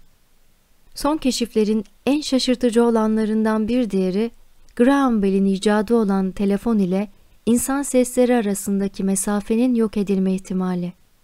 Bir görüşmeyi 200 fitlik bir mesafede sürdürebilen, tirşelik küçük teneke kaplar ve sarmal bağlantı aparatlarını içeren, ilk olarak küçük aşıklar telgrafı diye öne sürülen bu ihtimal, çağın harikası olarak telefona dönüşmüştür. Boston ve Cambridgeport arasında telgrafla uzun bir görüşme yer almıştı. Resmi rapora göre her kelime ayrı olarak duyuluyor, kusursuz anlaşılıyor ve seslerin modülasyonu tamamen ayırt ediliyor. Sesler kaçırılmıyor, yani bir mıknatısla form içinde tutuluyor ve ses dalgası aynı ahenkte davranan ve mıknatısla işbirliği yapan elektrik tarafından iletiliyor. Bütün iş elektrik akımlarının tam bir kontrolü ve kullanılan mıknatısların gücüne dayanıyor. İcat diye bildirir gazete.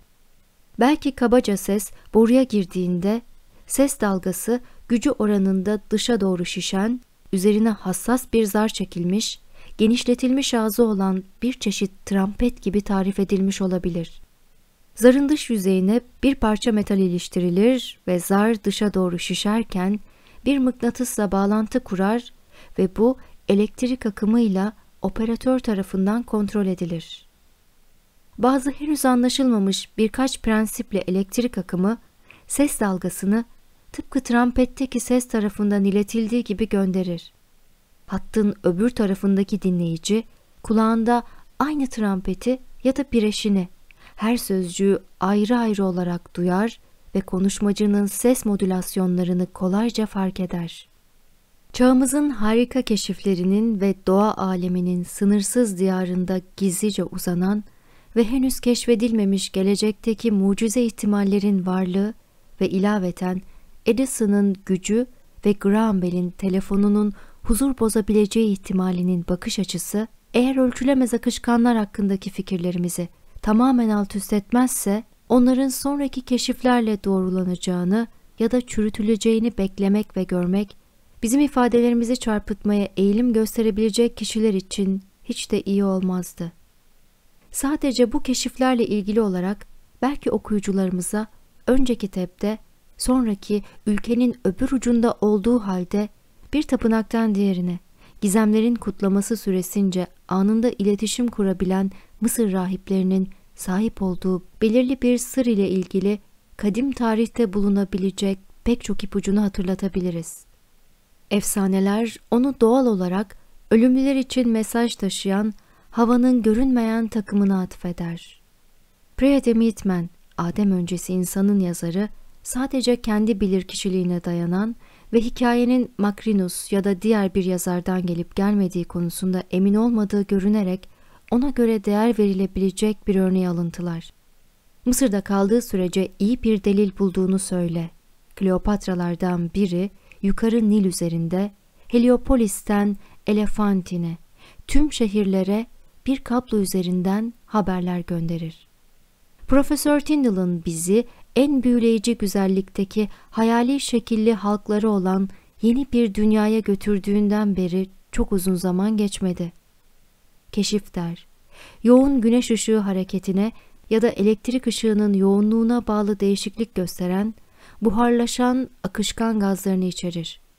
Bazı nitritler, iyotlar ve asitlerin buharları yatay olarak uzanan bir deney tüpündeki ışığın hareketine bağlıdır ve öyle ayarlanmıştır ki tüpün ve lambadan yayılan paralel ışığın ekseni çakışır.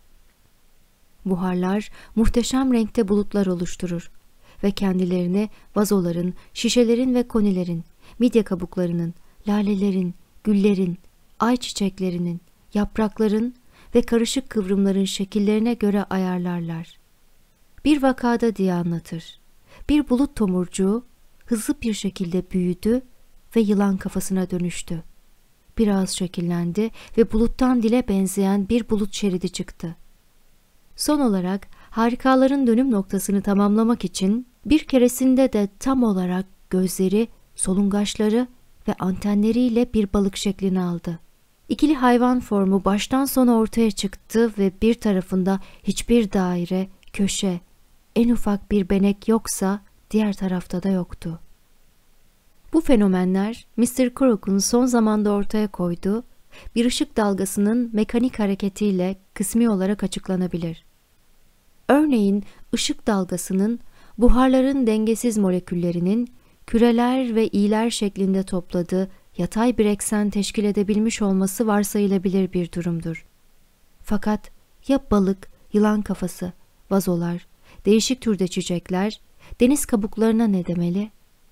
Öyle görünüyor ki bu, Babine'nin kedisi kadar şaşırtıcı bir ikilem arz ediyor. Konuya dikkatini vermemiş olanlar son zamanda evrensel eter adıyla vaftiz edilmiş, bütüne yayılan süptül özün önceki zamanlarda ne kadar bilindiğini görünce şaşırabilirler.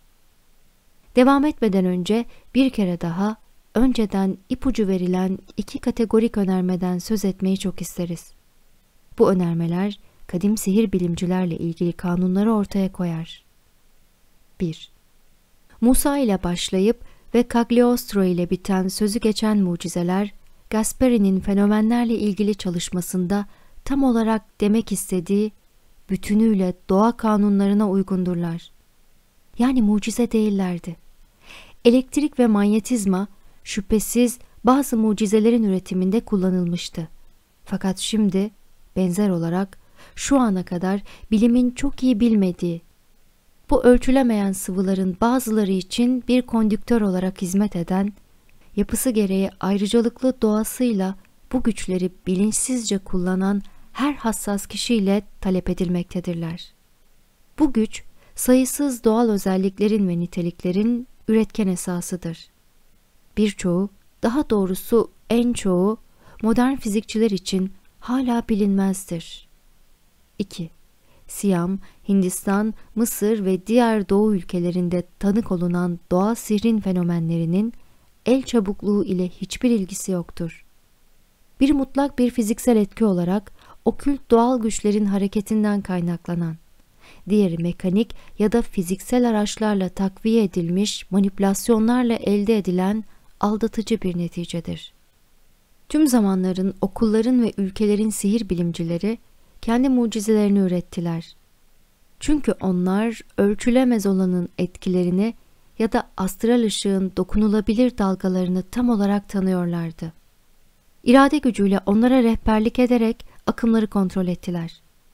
Mucizeler hem fiziksel hem de psikolojik karakterdeydi. Fiziksel olan materyal nesneler üzerinde üretilen sonuçları, psikolojik olan ise Mesmer ve onun takipçilerinin zihinsel fenomenlerini kapsıyordu. Bu takipçiler sınıfı zamanımızda olağanüstü güçleri Fransa ve diğer ülkelerde tasdiklenen iki tanınmış adam Dupote ve Ragazzoni tarafından temsil edilmektedir.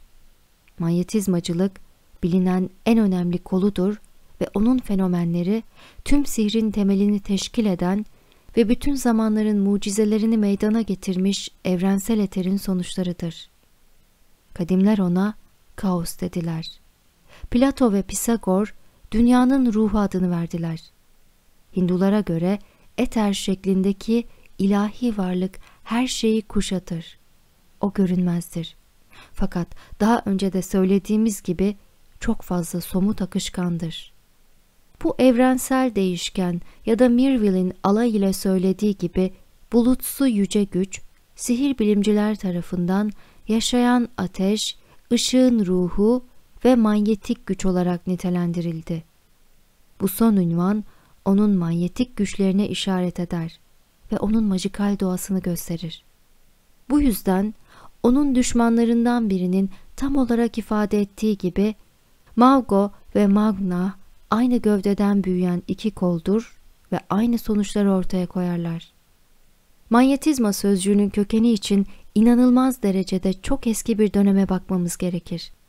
Mıknatıs denilen taşın adını çoğu kişi tarafından bu taşların bol miktarda bulunduğu bir şehir ya da bölgeden aldığına inanılır. Ancak biz Hermetistlerin görüşünün doğru olduğuna inanıyoruz. Mag, magus sözcüğü ilahi akıl tarafından takdis edilen, büyük ya da bilgi anlamına gelen Sanskritçe mahajiden türetilmiştir. Çeşitli kozmogoniler kadim evrensel ruha her ulus tarafından yaratıcı tanrı aklı, Gnostiklerin sofyası ya da dişi bir prensip olan Holy Ghost, kutsal hayalet diye inanıldığını göstermektedir. Magnesyan taşı ya da magnet, harika özelliklerini ilk keşfedenlerin adları kendilerinden türeyen magilerin şerefine adlandırılmışlardır. Tapınakları ülkenin her yerine yayılmıştı ve bunların arasında Herkül'ün tapınakları da vardı. Taş, rahipler tarafından onu kendi şifa ve majikal amaçları için kullandıkları bir kere bilindikten sonra Magnesyan ya da Heraklean taşı adını aldı. Sokrat bu taştan şöyle söz eder. Euripides ona Magnesyan taşı dedi. Fakat halk Heraklean adını verdi. Bölge ve taş adını Magi'den almıştı. Magi'ye adını veren onlar değildi. Plini bize evlilik alyansının Romalılar arasında seremoniden önce rahipler tarafından manyetize edildiğini bildirir. Eski pagan tarihçileri bazı bilgelik sırları ile ilgili sessiz kalmaya dikkat ederler. Modern bilim hayvan manyetizmasını reddettikten sonra kendini onu bir gerçek olarak kabul etmeye zorlamıştır. O şimdi insan ve hayvan organizmasının tanınmış bir özelliğidir. Psikolojik ve okült etkisine gelince, akademiler onunla yüzyılımızda her zamankinden daha gaddarca mücadele etmektedirler. Kesin bilimin temsilcileri açıklayamadıkları, hatta bize basit bir mıknatısta bulunan inkar edilemez gizli güç için mantıklı herhangi bir şey de sunamadıkları için o manyetizma daha çok merak edilmektedir. Bu güçlerin sihrin sırlarının temelini oluşturduğuna dair günlük deliller elde etmeye başlıyoruz. Ve bu yüzden belki kadim ve modern sihir bilimcilerin sahip olduğu okült güçleri, onların en hayret verici çalışmalarının çoğunu da iyi bir şekilde açıklayabiliriz. Tıpkı İsa tarafından bazı havarilerine nakledilen hediyeler gibi. Onun mucize tedavileri sırasında nazaran ondan gelen bir güç hissetti. Sokrat onun bilindik tanrısını veya bilgeliğinden öğrencilerine verdi ya da sahip olduklarından yararlanmasından alıkoyan gücü anlatırken kendi sözleriyle doğruladığı şu örneği verir. Sana anlatacağım Sokrat der Aristides. Gerçekten inanılmaz bir şey. Tanrılar tarafından. Ama doğru. Seninle yakınlık kurduğumda bir ustalık kazandım. Sadece aynı evde bile olsan, aynı odada olmasam da ancak aynı odada olduğumda daha çok ve sana baktığımda çok daha fazlaydı.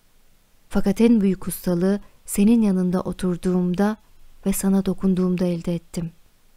Bu bir kişi akışkanın etkilerine tabi tuttuklarında uzaktan bile bütün düşüncelerini onlara aktarabilen ve onları karşı konulmaz bir güçle zihinsel komutlarına itaat ettiren Dupote ve diğer ustaların manyetizması ve mesmerizmiydi.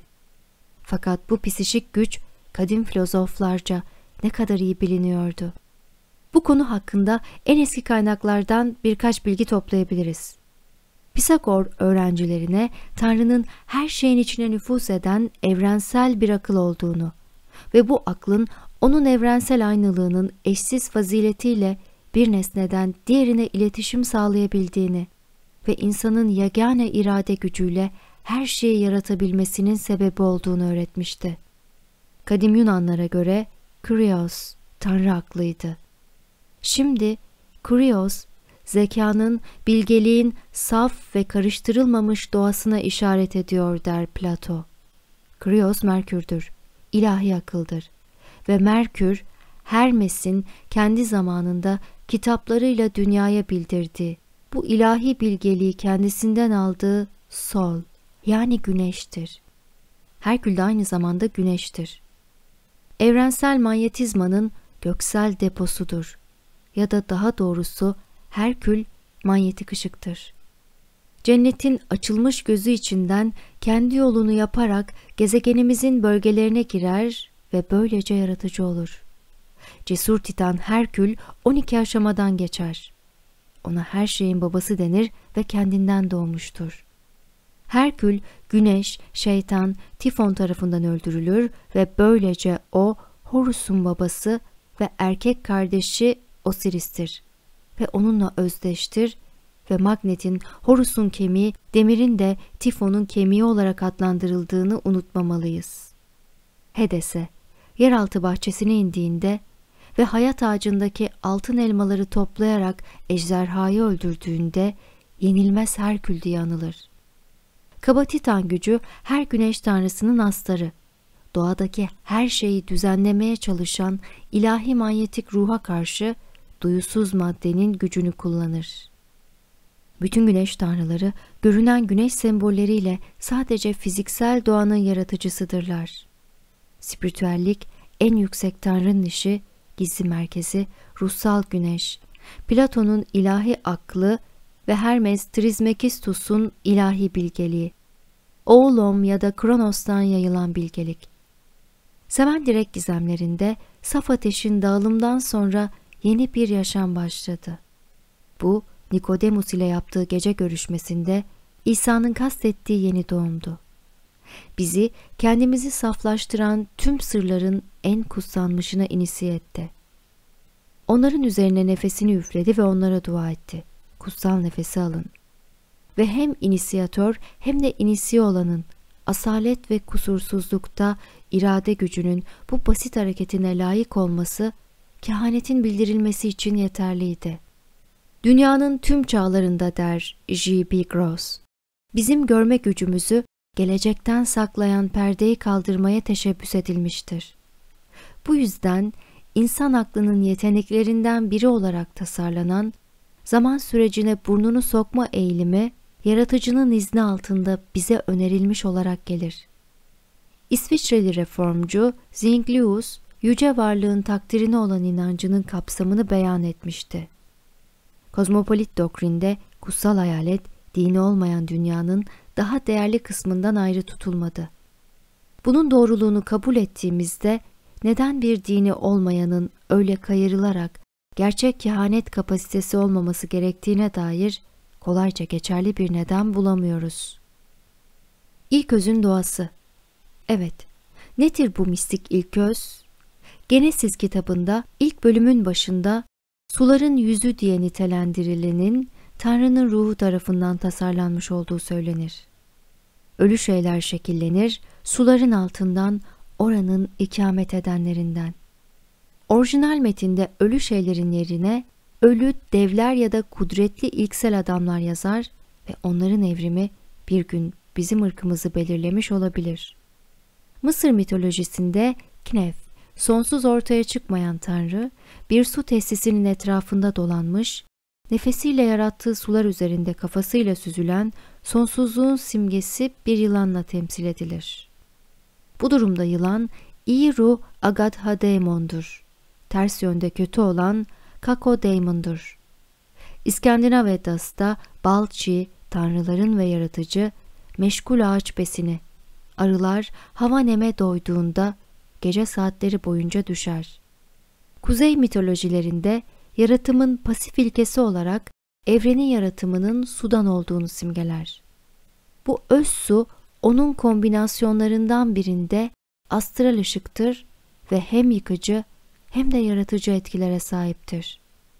Keldane efsanesi Berosus, Oannes ya da Dagon'da balık adam, bebek dünyanın sudan yaratıldığını ve tüm varlıkların bu ilk maddeden başladığını göstererek insanları eğitir. Musa sadece toprak ve suyun yaşayan bir ruh getirebileceğini öğretir.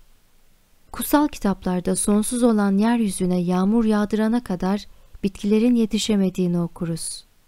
Meksikalı Popol Vuh'ta insan çamurdan ya da suyun altından alınan kilden yaratılır. Brahma Lomus'u Büyük Muni'yi ya da ilk adamı yaratır ve o lotusun üzerinde oturmuş beklemektedir. Ancak var olmaya çağrıldıktan sonra ruh alır. Böylece ölümlüler arasında ilk varlık olma önceliğinden hoşnut olur. Brahma onu su, hava ve topraktan yaratır. Simyacılar başlangıçtaki ya da Adem öncesi yeryüzünün ilk özüne indirgendiğinde onu transformasyonun ikinci aşamasında berrak su gibi ilk canlının da alkahest özelliğinde olduğunu iddia eder. Bu ilk tözün kendi içinde insanı oluşturan her şeyin özünü kapsadığı söylenir. Sadece onun fiziksel varlığının bütün elementlerini değil, uyandırılmaya hazır bir uyku halindeki kendi yaşam nefesine de sahiptir. Bu yaratıcı ruhunun suların yüzü üzerindeki tasarımından türeyen kaostur. Gerçekte kaos bu özün kendisidir. Kaostan yarattığı ise Paracelsus'un homunculi diye öne sürdüğü onun küçük halleridir. Ve bu da büyük doğa filozofu Thales'in neden doğadaki her şeyin esasının su olduğunu ileri sürdüğünü gösterir. Bazı kadim mitlerin yorumu İlksel kaos dışında nedir bu eter? Eter bizim bilim adamlarımızın kabul ettiği şekliyle değil, Musa'dan uzun zaman önce kadim filozoflarca bilindiği gibidir. Eter tüm gizemi ve okült özellikleriyle kendi içinde evrensel yaratımın tohumlarını ihtiva eder. Eter, göksel bakire, ilahi ruh tarafından tasarlandığı anda onun göğsünden var olan her form ve varlığın spiritüel anası, madde ve yaşam, güç ve hareketi oluşturandır. Elektrik, manyetizma, ısı, ışık ve kimyasal aksiyon. Şimdi bile o kadar az anlaşılmaktadır ki, taze gerçekler sürekli bilginin sınırını genişletmektedir. Bu değişken devin yani eterin gücünün nerede bittiğini kim bilebilir ya da esrarengiz başlangıç noktasının nereden geldiğini. Onun içinde çalışan ruhu ve ondan çıkan tüm görünen formları kim inkar edebilir? Kadim bilimlerin bir bilgisine dayanan, dünyadaki bütün kozmogonik efsanelerin günümüzdeki evrim teorisini desteklediklerini ve birazdan belirteceğimiz araştırma ile hem fiziksel hem de ruhsal yönden bizim şimdi yaptığımızdan daha fazla kucaklayarak evrimin kendisiyle çok daha iyi uyum sağladıklarının ortaya konulabilir olduğunu göstermek kolay olacaktır. Eski filozoflara göre evrim, evrensel bir teorem, bütünü kapsayan bir doktrin ve yerleşmiş ilk prensipti. Bizim modern evrimciler eğer tamamen negatif teoremler değilse sadece özellikle spekülatif teorilerle karşımıza gelirler. Bizim modern aklın temsilcileri için konuyu kapatmak ve hallolmuş gibi göstermek boşunadır. Çünkü Musa'ya ait kapalı ifade tarzı kesin bilimin sınırlı kutsal kitap yorumuyla uyuşmazlıkların sebebidir. En azından bir gerçek ispatlanmaktadır. Bizim modern fizikçilerin evrenin hiçbir şeyden var olduğu fikrinden daha fazlasını ispatlayan hangi ulusa ait olursa olsun su ve onun üzerinde dolaşan ruhun bu evrensel alegorisinin bulunmadığı kozmogonik bir bölüm yoktur. Zira onların bütün efsaneleri oluşmaya başlayan buharlar ve karanlıkta yaşayan ırkların karanlığının görünmeyenin ilk nefes titremesinde hareket yolculuğuna başlamaya hazır olarak sıvı kütlesi üzerinde uzandığı o dönemde başlar. Onu görmeseler de hissetmişlerdi. Onların ruhsal sezgileri şimdi bizimki gibi belirsiz gelecek çağlar safsatasıyla o kadar karartılmış değildi. Memeliler çağına doğru yavaşça gelişen Silüryen çağı hakkında daha az konuşmuşlarsa ve dördüncü jeolojik zaman sadece ilk insanın, bizim ırkın Adem'i, değişik alegorileriyle kayıt edilmişse, bu yalnızca onların bilgi adamları ve liderlerinin ard arda gelen bu dönemleri bizim bugün bildiğimiz kadar bilmediklerinin olumsuz bir ispatıdır. Demokritus ve Aristo zamanında döngü çoktan ilerlemenin aşağı yoluna doğru girmeye başlamıştı. Ve eğer bu iki filozof atom teorisi ve atomu maddesel ve fiziksel noktasında tanımlamayı iyi bir şekilde tartışabilmişlerse onların ataları belki daha ileri gitmiş ve bir noktaya kök saldıkları görülen Tyndall ve diğerlerinin anlaşılmayanın sınırını geçmeye cesaret edemedikleri sırrın çok ötesindeki yaratılışı takip etmiş olabilirlerdi. Fizikçilerin ve doğa bilimcilerin tatmin edici olmayan yazıları yüzünden fizyografideki başarılarından bugün şüphe edilse de kayıp sanatlar bunun için yeterli bir delildir. Diğer taraftan fitokimya ve mineralojideki parlak bilgileri bizimkinden kat kat ilerideydi. Bundan başka dini gizemler çağlarının cahil kalabalıklarına bilgilerini yayınlamadan da yer küremizin fiziksel tarihine kusursuz bir şekilde aşina olabilme ihtimalleri vardı. Bu yüzden gelecek iddialarımızın yanıtlarının yalnızca Musa dönemi kitaplarından olmadığını söylemek isteriz. Kadim Yahudiler bütün bilgilerini dinle ilgili ya da değil, onları en eski zamanlardan derlediklerini gördüğümüz uluslardan almışlardır. Tüm bilimlerin en eskisi, onların kabalistik gizli doktrininin bile her detayı ile yukarı Hindistan ya da Türkistan'a, Aryan ve Semitik ulusların arasındaki belirgin bir ayrımın olduğu zamandan çok öncesine, ilk kaynağına doğru izi sürülebilir. Kral Süleyman zenginliği ve başarısı ile o kadar ünlenmişti ki tarihçi Josephus onun majikal becerisinin sırrını Hindistan'dan Hiram, Ofir kralı ve belki de Şeba aracılığıyla elde ettiğini söyler. Bütün halk efsanelerinde yaygın olarak Süleyman'ın mührü diye bilinen cinlerin ve damonların çeşitli türleri üzerindeki etkisi meşhur olan yüzüğü Hindu kökeniyle aynıdır. Travancore'un şeytana tapanlarının iddialı ve ürkütücü becerisi üzerine yazan Londra Misyoner Cemiyeti'nden saygıdeğer Samuel Matter aynı zamanda çok çeşitli sonuçları etkileyecek yollar gösteren Malayalim dilindeki majikal büyüler ve sözlerden oluşan çok eski bir el yazmasına sahip olduğunu ileri sürer. Pek tabii ekler. Bunların çoğu kendi kötülükleri ve iğrençliklerinde ürkütücüdürler.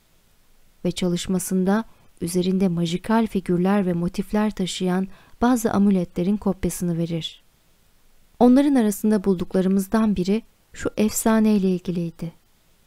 Demonik hakimiyetten doğan titremeyi kaldırmak için sütlü öz suyu olan bir bitki üzerine bu şekli çizin ve içinden bir çivi geçirin. Titreme kesilecektir. Şekil Süleyman'ın mührünün ya da kabalistlerin çift üçgeninin aynısıdır. Hindular onu Yahudi kabalacısından mı aldı yoksa ikincisi onların büyük kabalisti Bilge Süleyman'dan miras yoluyla Hindistan'dan mı getirdi? Fakat şimdi daha ilginç konu astral ışık ve onun bilinmeyen özellikleriyle devam etmek için bu küçük tartışmayı bırakıyoruz. Sonra da bu efsanevi eter faktörüne onay vererek ne kadarının bilim tarafından bilindiğini görmek için yol alacağız. Farklı güneş ışınlarının çeşitli etkileriyle ilgili olarak Robert Hunt, ışığın kimyasal ilişkileri üzerine araştırmalar adlı çalışmasında şöyle ifade eder. En az aydınlatma gücüne sahip olanlar mavi ve mor, en büyük değişikliği son derece kısa sürede üretirken en fazla ışığı veren ışınlar sarı ve turuncu renktekiler. Gümüş kloritte renk değişimi üretmeyeceklerdir. Sarı camlar herhangi bir ışığa neredeyse engel olurlarken mavi camlar çok küçük bir sızmayı içeri alacak kadar karanlık olabilirler. Ve yine bitkiler ve hayvanların sarı ışığın altında oranlı bir şekilde tutulurken mavi ışığın altında düzensiz bir gelişme sergilediklerini görürüz. Hem hayvan hem de bitki yaşamının temel prensipleri henüz bilinmeyen elektromanyetik fenomenlerle farklı şekilde değişime uğramasından başka daha tatmin edici bir açıklama yapmak mümkün olabilir mi? Mr. Han dalgalanma teorisinin deneylerinin sonuçlarını açıklamadığını görür. Sir David Brewster optik üzerine tezinde bitki renklerinin bu yapıların partiküllerinin farklı renklendirilmiş ışıklar üzerinde hareket eden özel bir çekimden kaynaklandığını ve bitkilerin öz sularının işleyen ve gövdelerinin renklerini değiştirenin güneş ışığı olduğunu göstererek bu tip etkilerin sadece eterik bir vasıtanın titreşimi tarafından üretilebileceğini söylemenin kolay olmadığını belirtir. Sonra zorlanır ve şöyle der. Bu gerçekler sınıfıyla sanki ışığın bir madde olduğu sonucuna varılır. Harvard Üniversitesi'nden Profesör Cook, bilimin yerleşmiş prensiplerinden biri olan ışığın dalga teorisi dikkate alındığında tüm bunlara katılamayacağını söyler. Herschel'in doktrini her bir dalgalanma sonucunda ışık yoğunluğunun parlak gövdeden mesafenin karesi kadar tersine olduğunu savunur. Eğer bu doğruysa dalgalanma teorisini öldürmezse de büyük miktarda zarar verir. Herschel'in haklı olduğu fotometre deneyleriyle defalarca ispatlanmıştır ve ne kadar şüphe edilmeye başlanmış olsa da dalgalanma teorisi hala hayattadır. Elif Aslevi, modern majisyen, astral ışığı şu cümleyle tarif eder. Majikal güç edinmek için iki şeyin gerekli olduğunu söylemiştik. İradeyi tüm bağımlılıktan serbest bırakmak ve onu kontrol ederek uygulamak. Bağımsız irade bizim sembollerimizde yılanın başına ezen kadın ve ejderhayı ayağının altında tutan ve mızraklayan göz kamaştırıcı melek ile temsil edilir. Büyük majikal alan, ışığın ikili akımı, hayat ve dünyanın astral ateşi. Eski teogonilerde bir boğa, bir geyik ya da bir köpek başlı yılanla temsil edilmiştir. O Kadüs'ün çift yılanıdır. Genesis'in yaşlı serpentidir. Sicim'in etrafında dolaşık Musa'nın pirinçten yılanıdır. Başka bir deyişle üretken lingadır. Ayrıca cadı sabatlarının keçisi ve tapınakçıların bafometidir. Son olarak Mirvil'in şeytanıdır. Fakat gerçekte ruhların dünya bağlarından kendilerini özgürleştirmek için fethetmek zorunda oldukları gizli güçtür. Zira iradeleri onları bu ölümcül cazibeden özgürleştirmez ise onları üretmiş olan güçle akıntıya çekilecekler ve merkezi ve sonsuz ateşe geri döneceklerdir. Bu son kabalistik ifade şekli tuhaf anlatım biçimiyle beraber tamamıyla İsa tarafından kullanılan bir tarzdır ve onun aklında gnostikler ve kabalacılar tarafından atfedilen daha başka bir anlamı olamazdı. Daha sonra teologlar o gücü farklı yorumladılar ve onlar için cehennem doktrini oldu. Yine de harfi harfine basitçe dediği şey anlamına geliyor. Astral ışık ya da tüm formların üreticisi ve yok edicisi. Tüm majikal operasyonlar diye devam eder Levi. Kişinin kendisini kadim yılanın kıvrımlarından kurtarmasını, sonra da onun kafasına ayak basmayı ve uygulayıcının iradesine göre yönlendirmeyi içerir. Sana vereceğim der yılan gospel metinde. Yeryüzünün tüm krallıklarını eğer eğilip bana taparsan. İnisiyenin şöyle cevap vermesi gerekir. Eğilmeyeceğim ama sen ayağıma kapanacaksın. Sen bana bir şey vermeyeceksin. Fakat ben senden yararlanacağım ve ne dilersem alacağım. Çünkü ben senin lordun ve efendinim.'' Bu şekilde şeytan bir varlık değildir. O isminin işaret ettiği gibi doğru yoldan ayrılan bir güçtür. Yıkıcı iradeler zinciriyle şekillenmiş o dik ya da manyetik bir akım, Gospel'in lejyon dediği ve bir domuz sürüsünü denize atlamaya zorlayan bu kötü ruhu yaratıyor olmalıdır. Diğer bir protestan alegorisi de hata ve günahla harekete geçirilmiş kontrolsüz güçler tarafından temel güdülerin nasıl düşüncesizce yönetildiğini gösterir.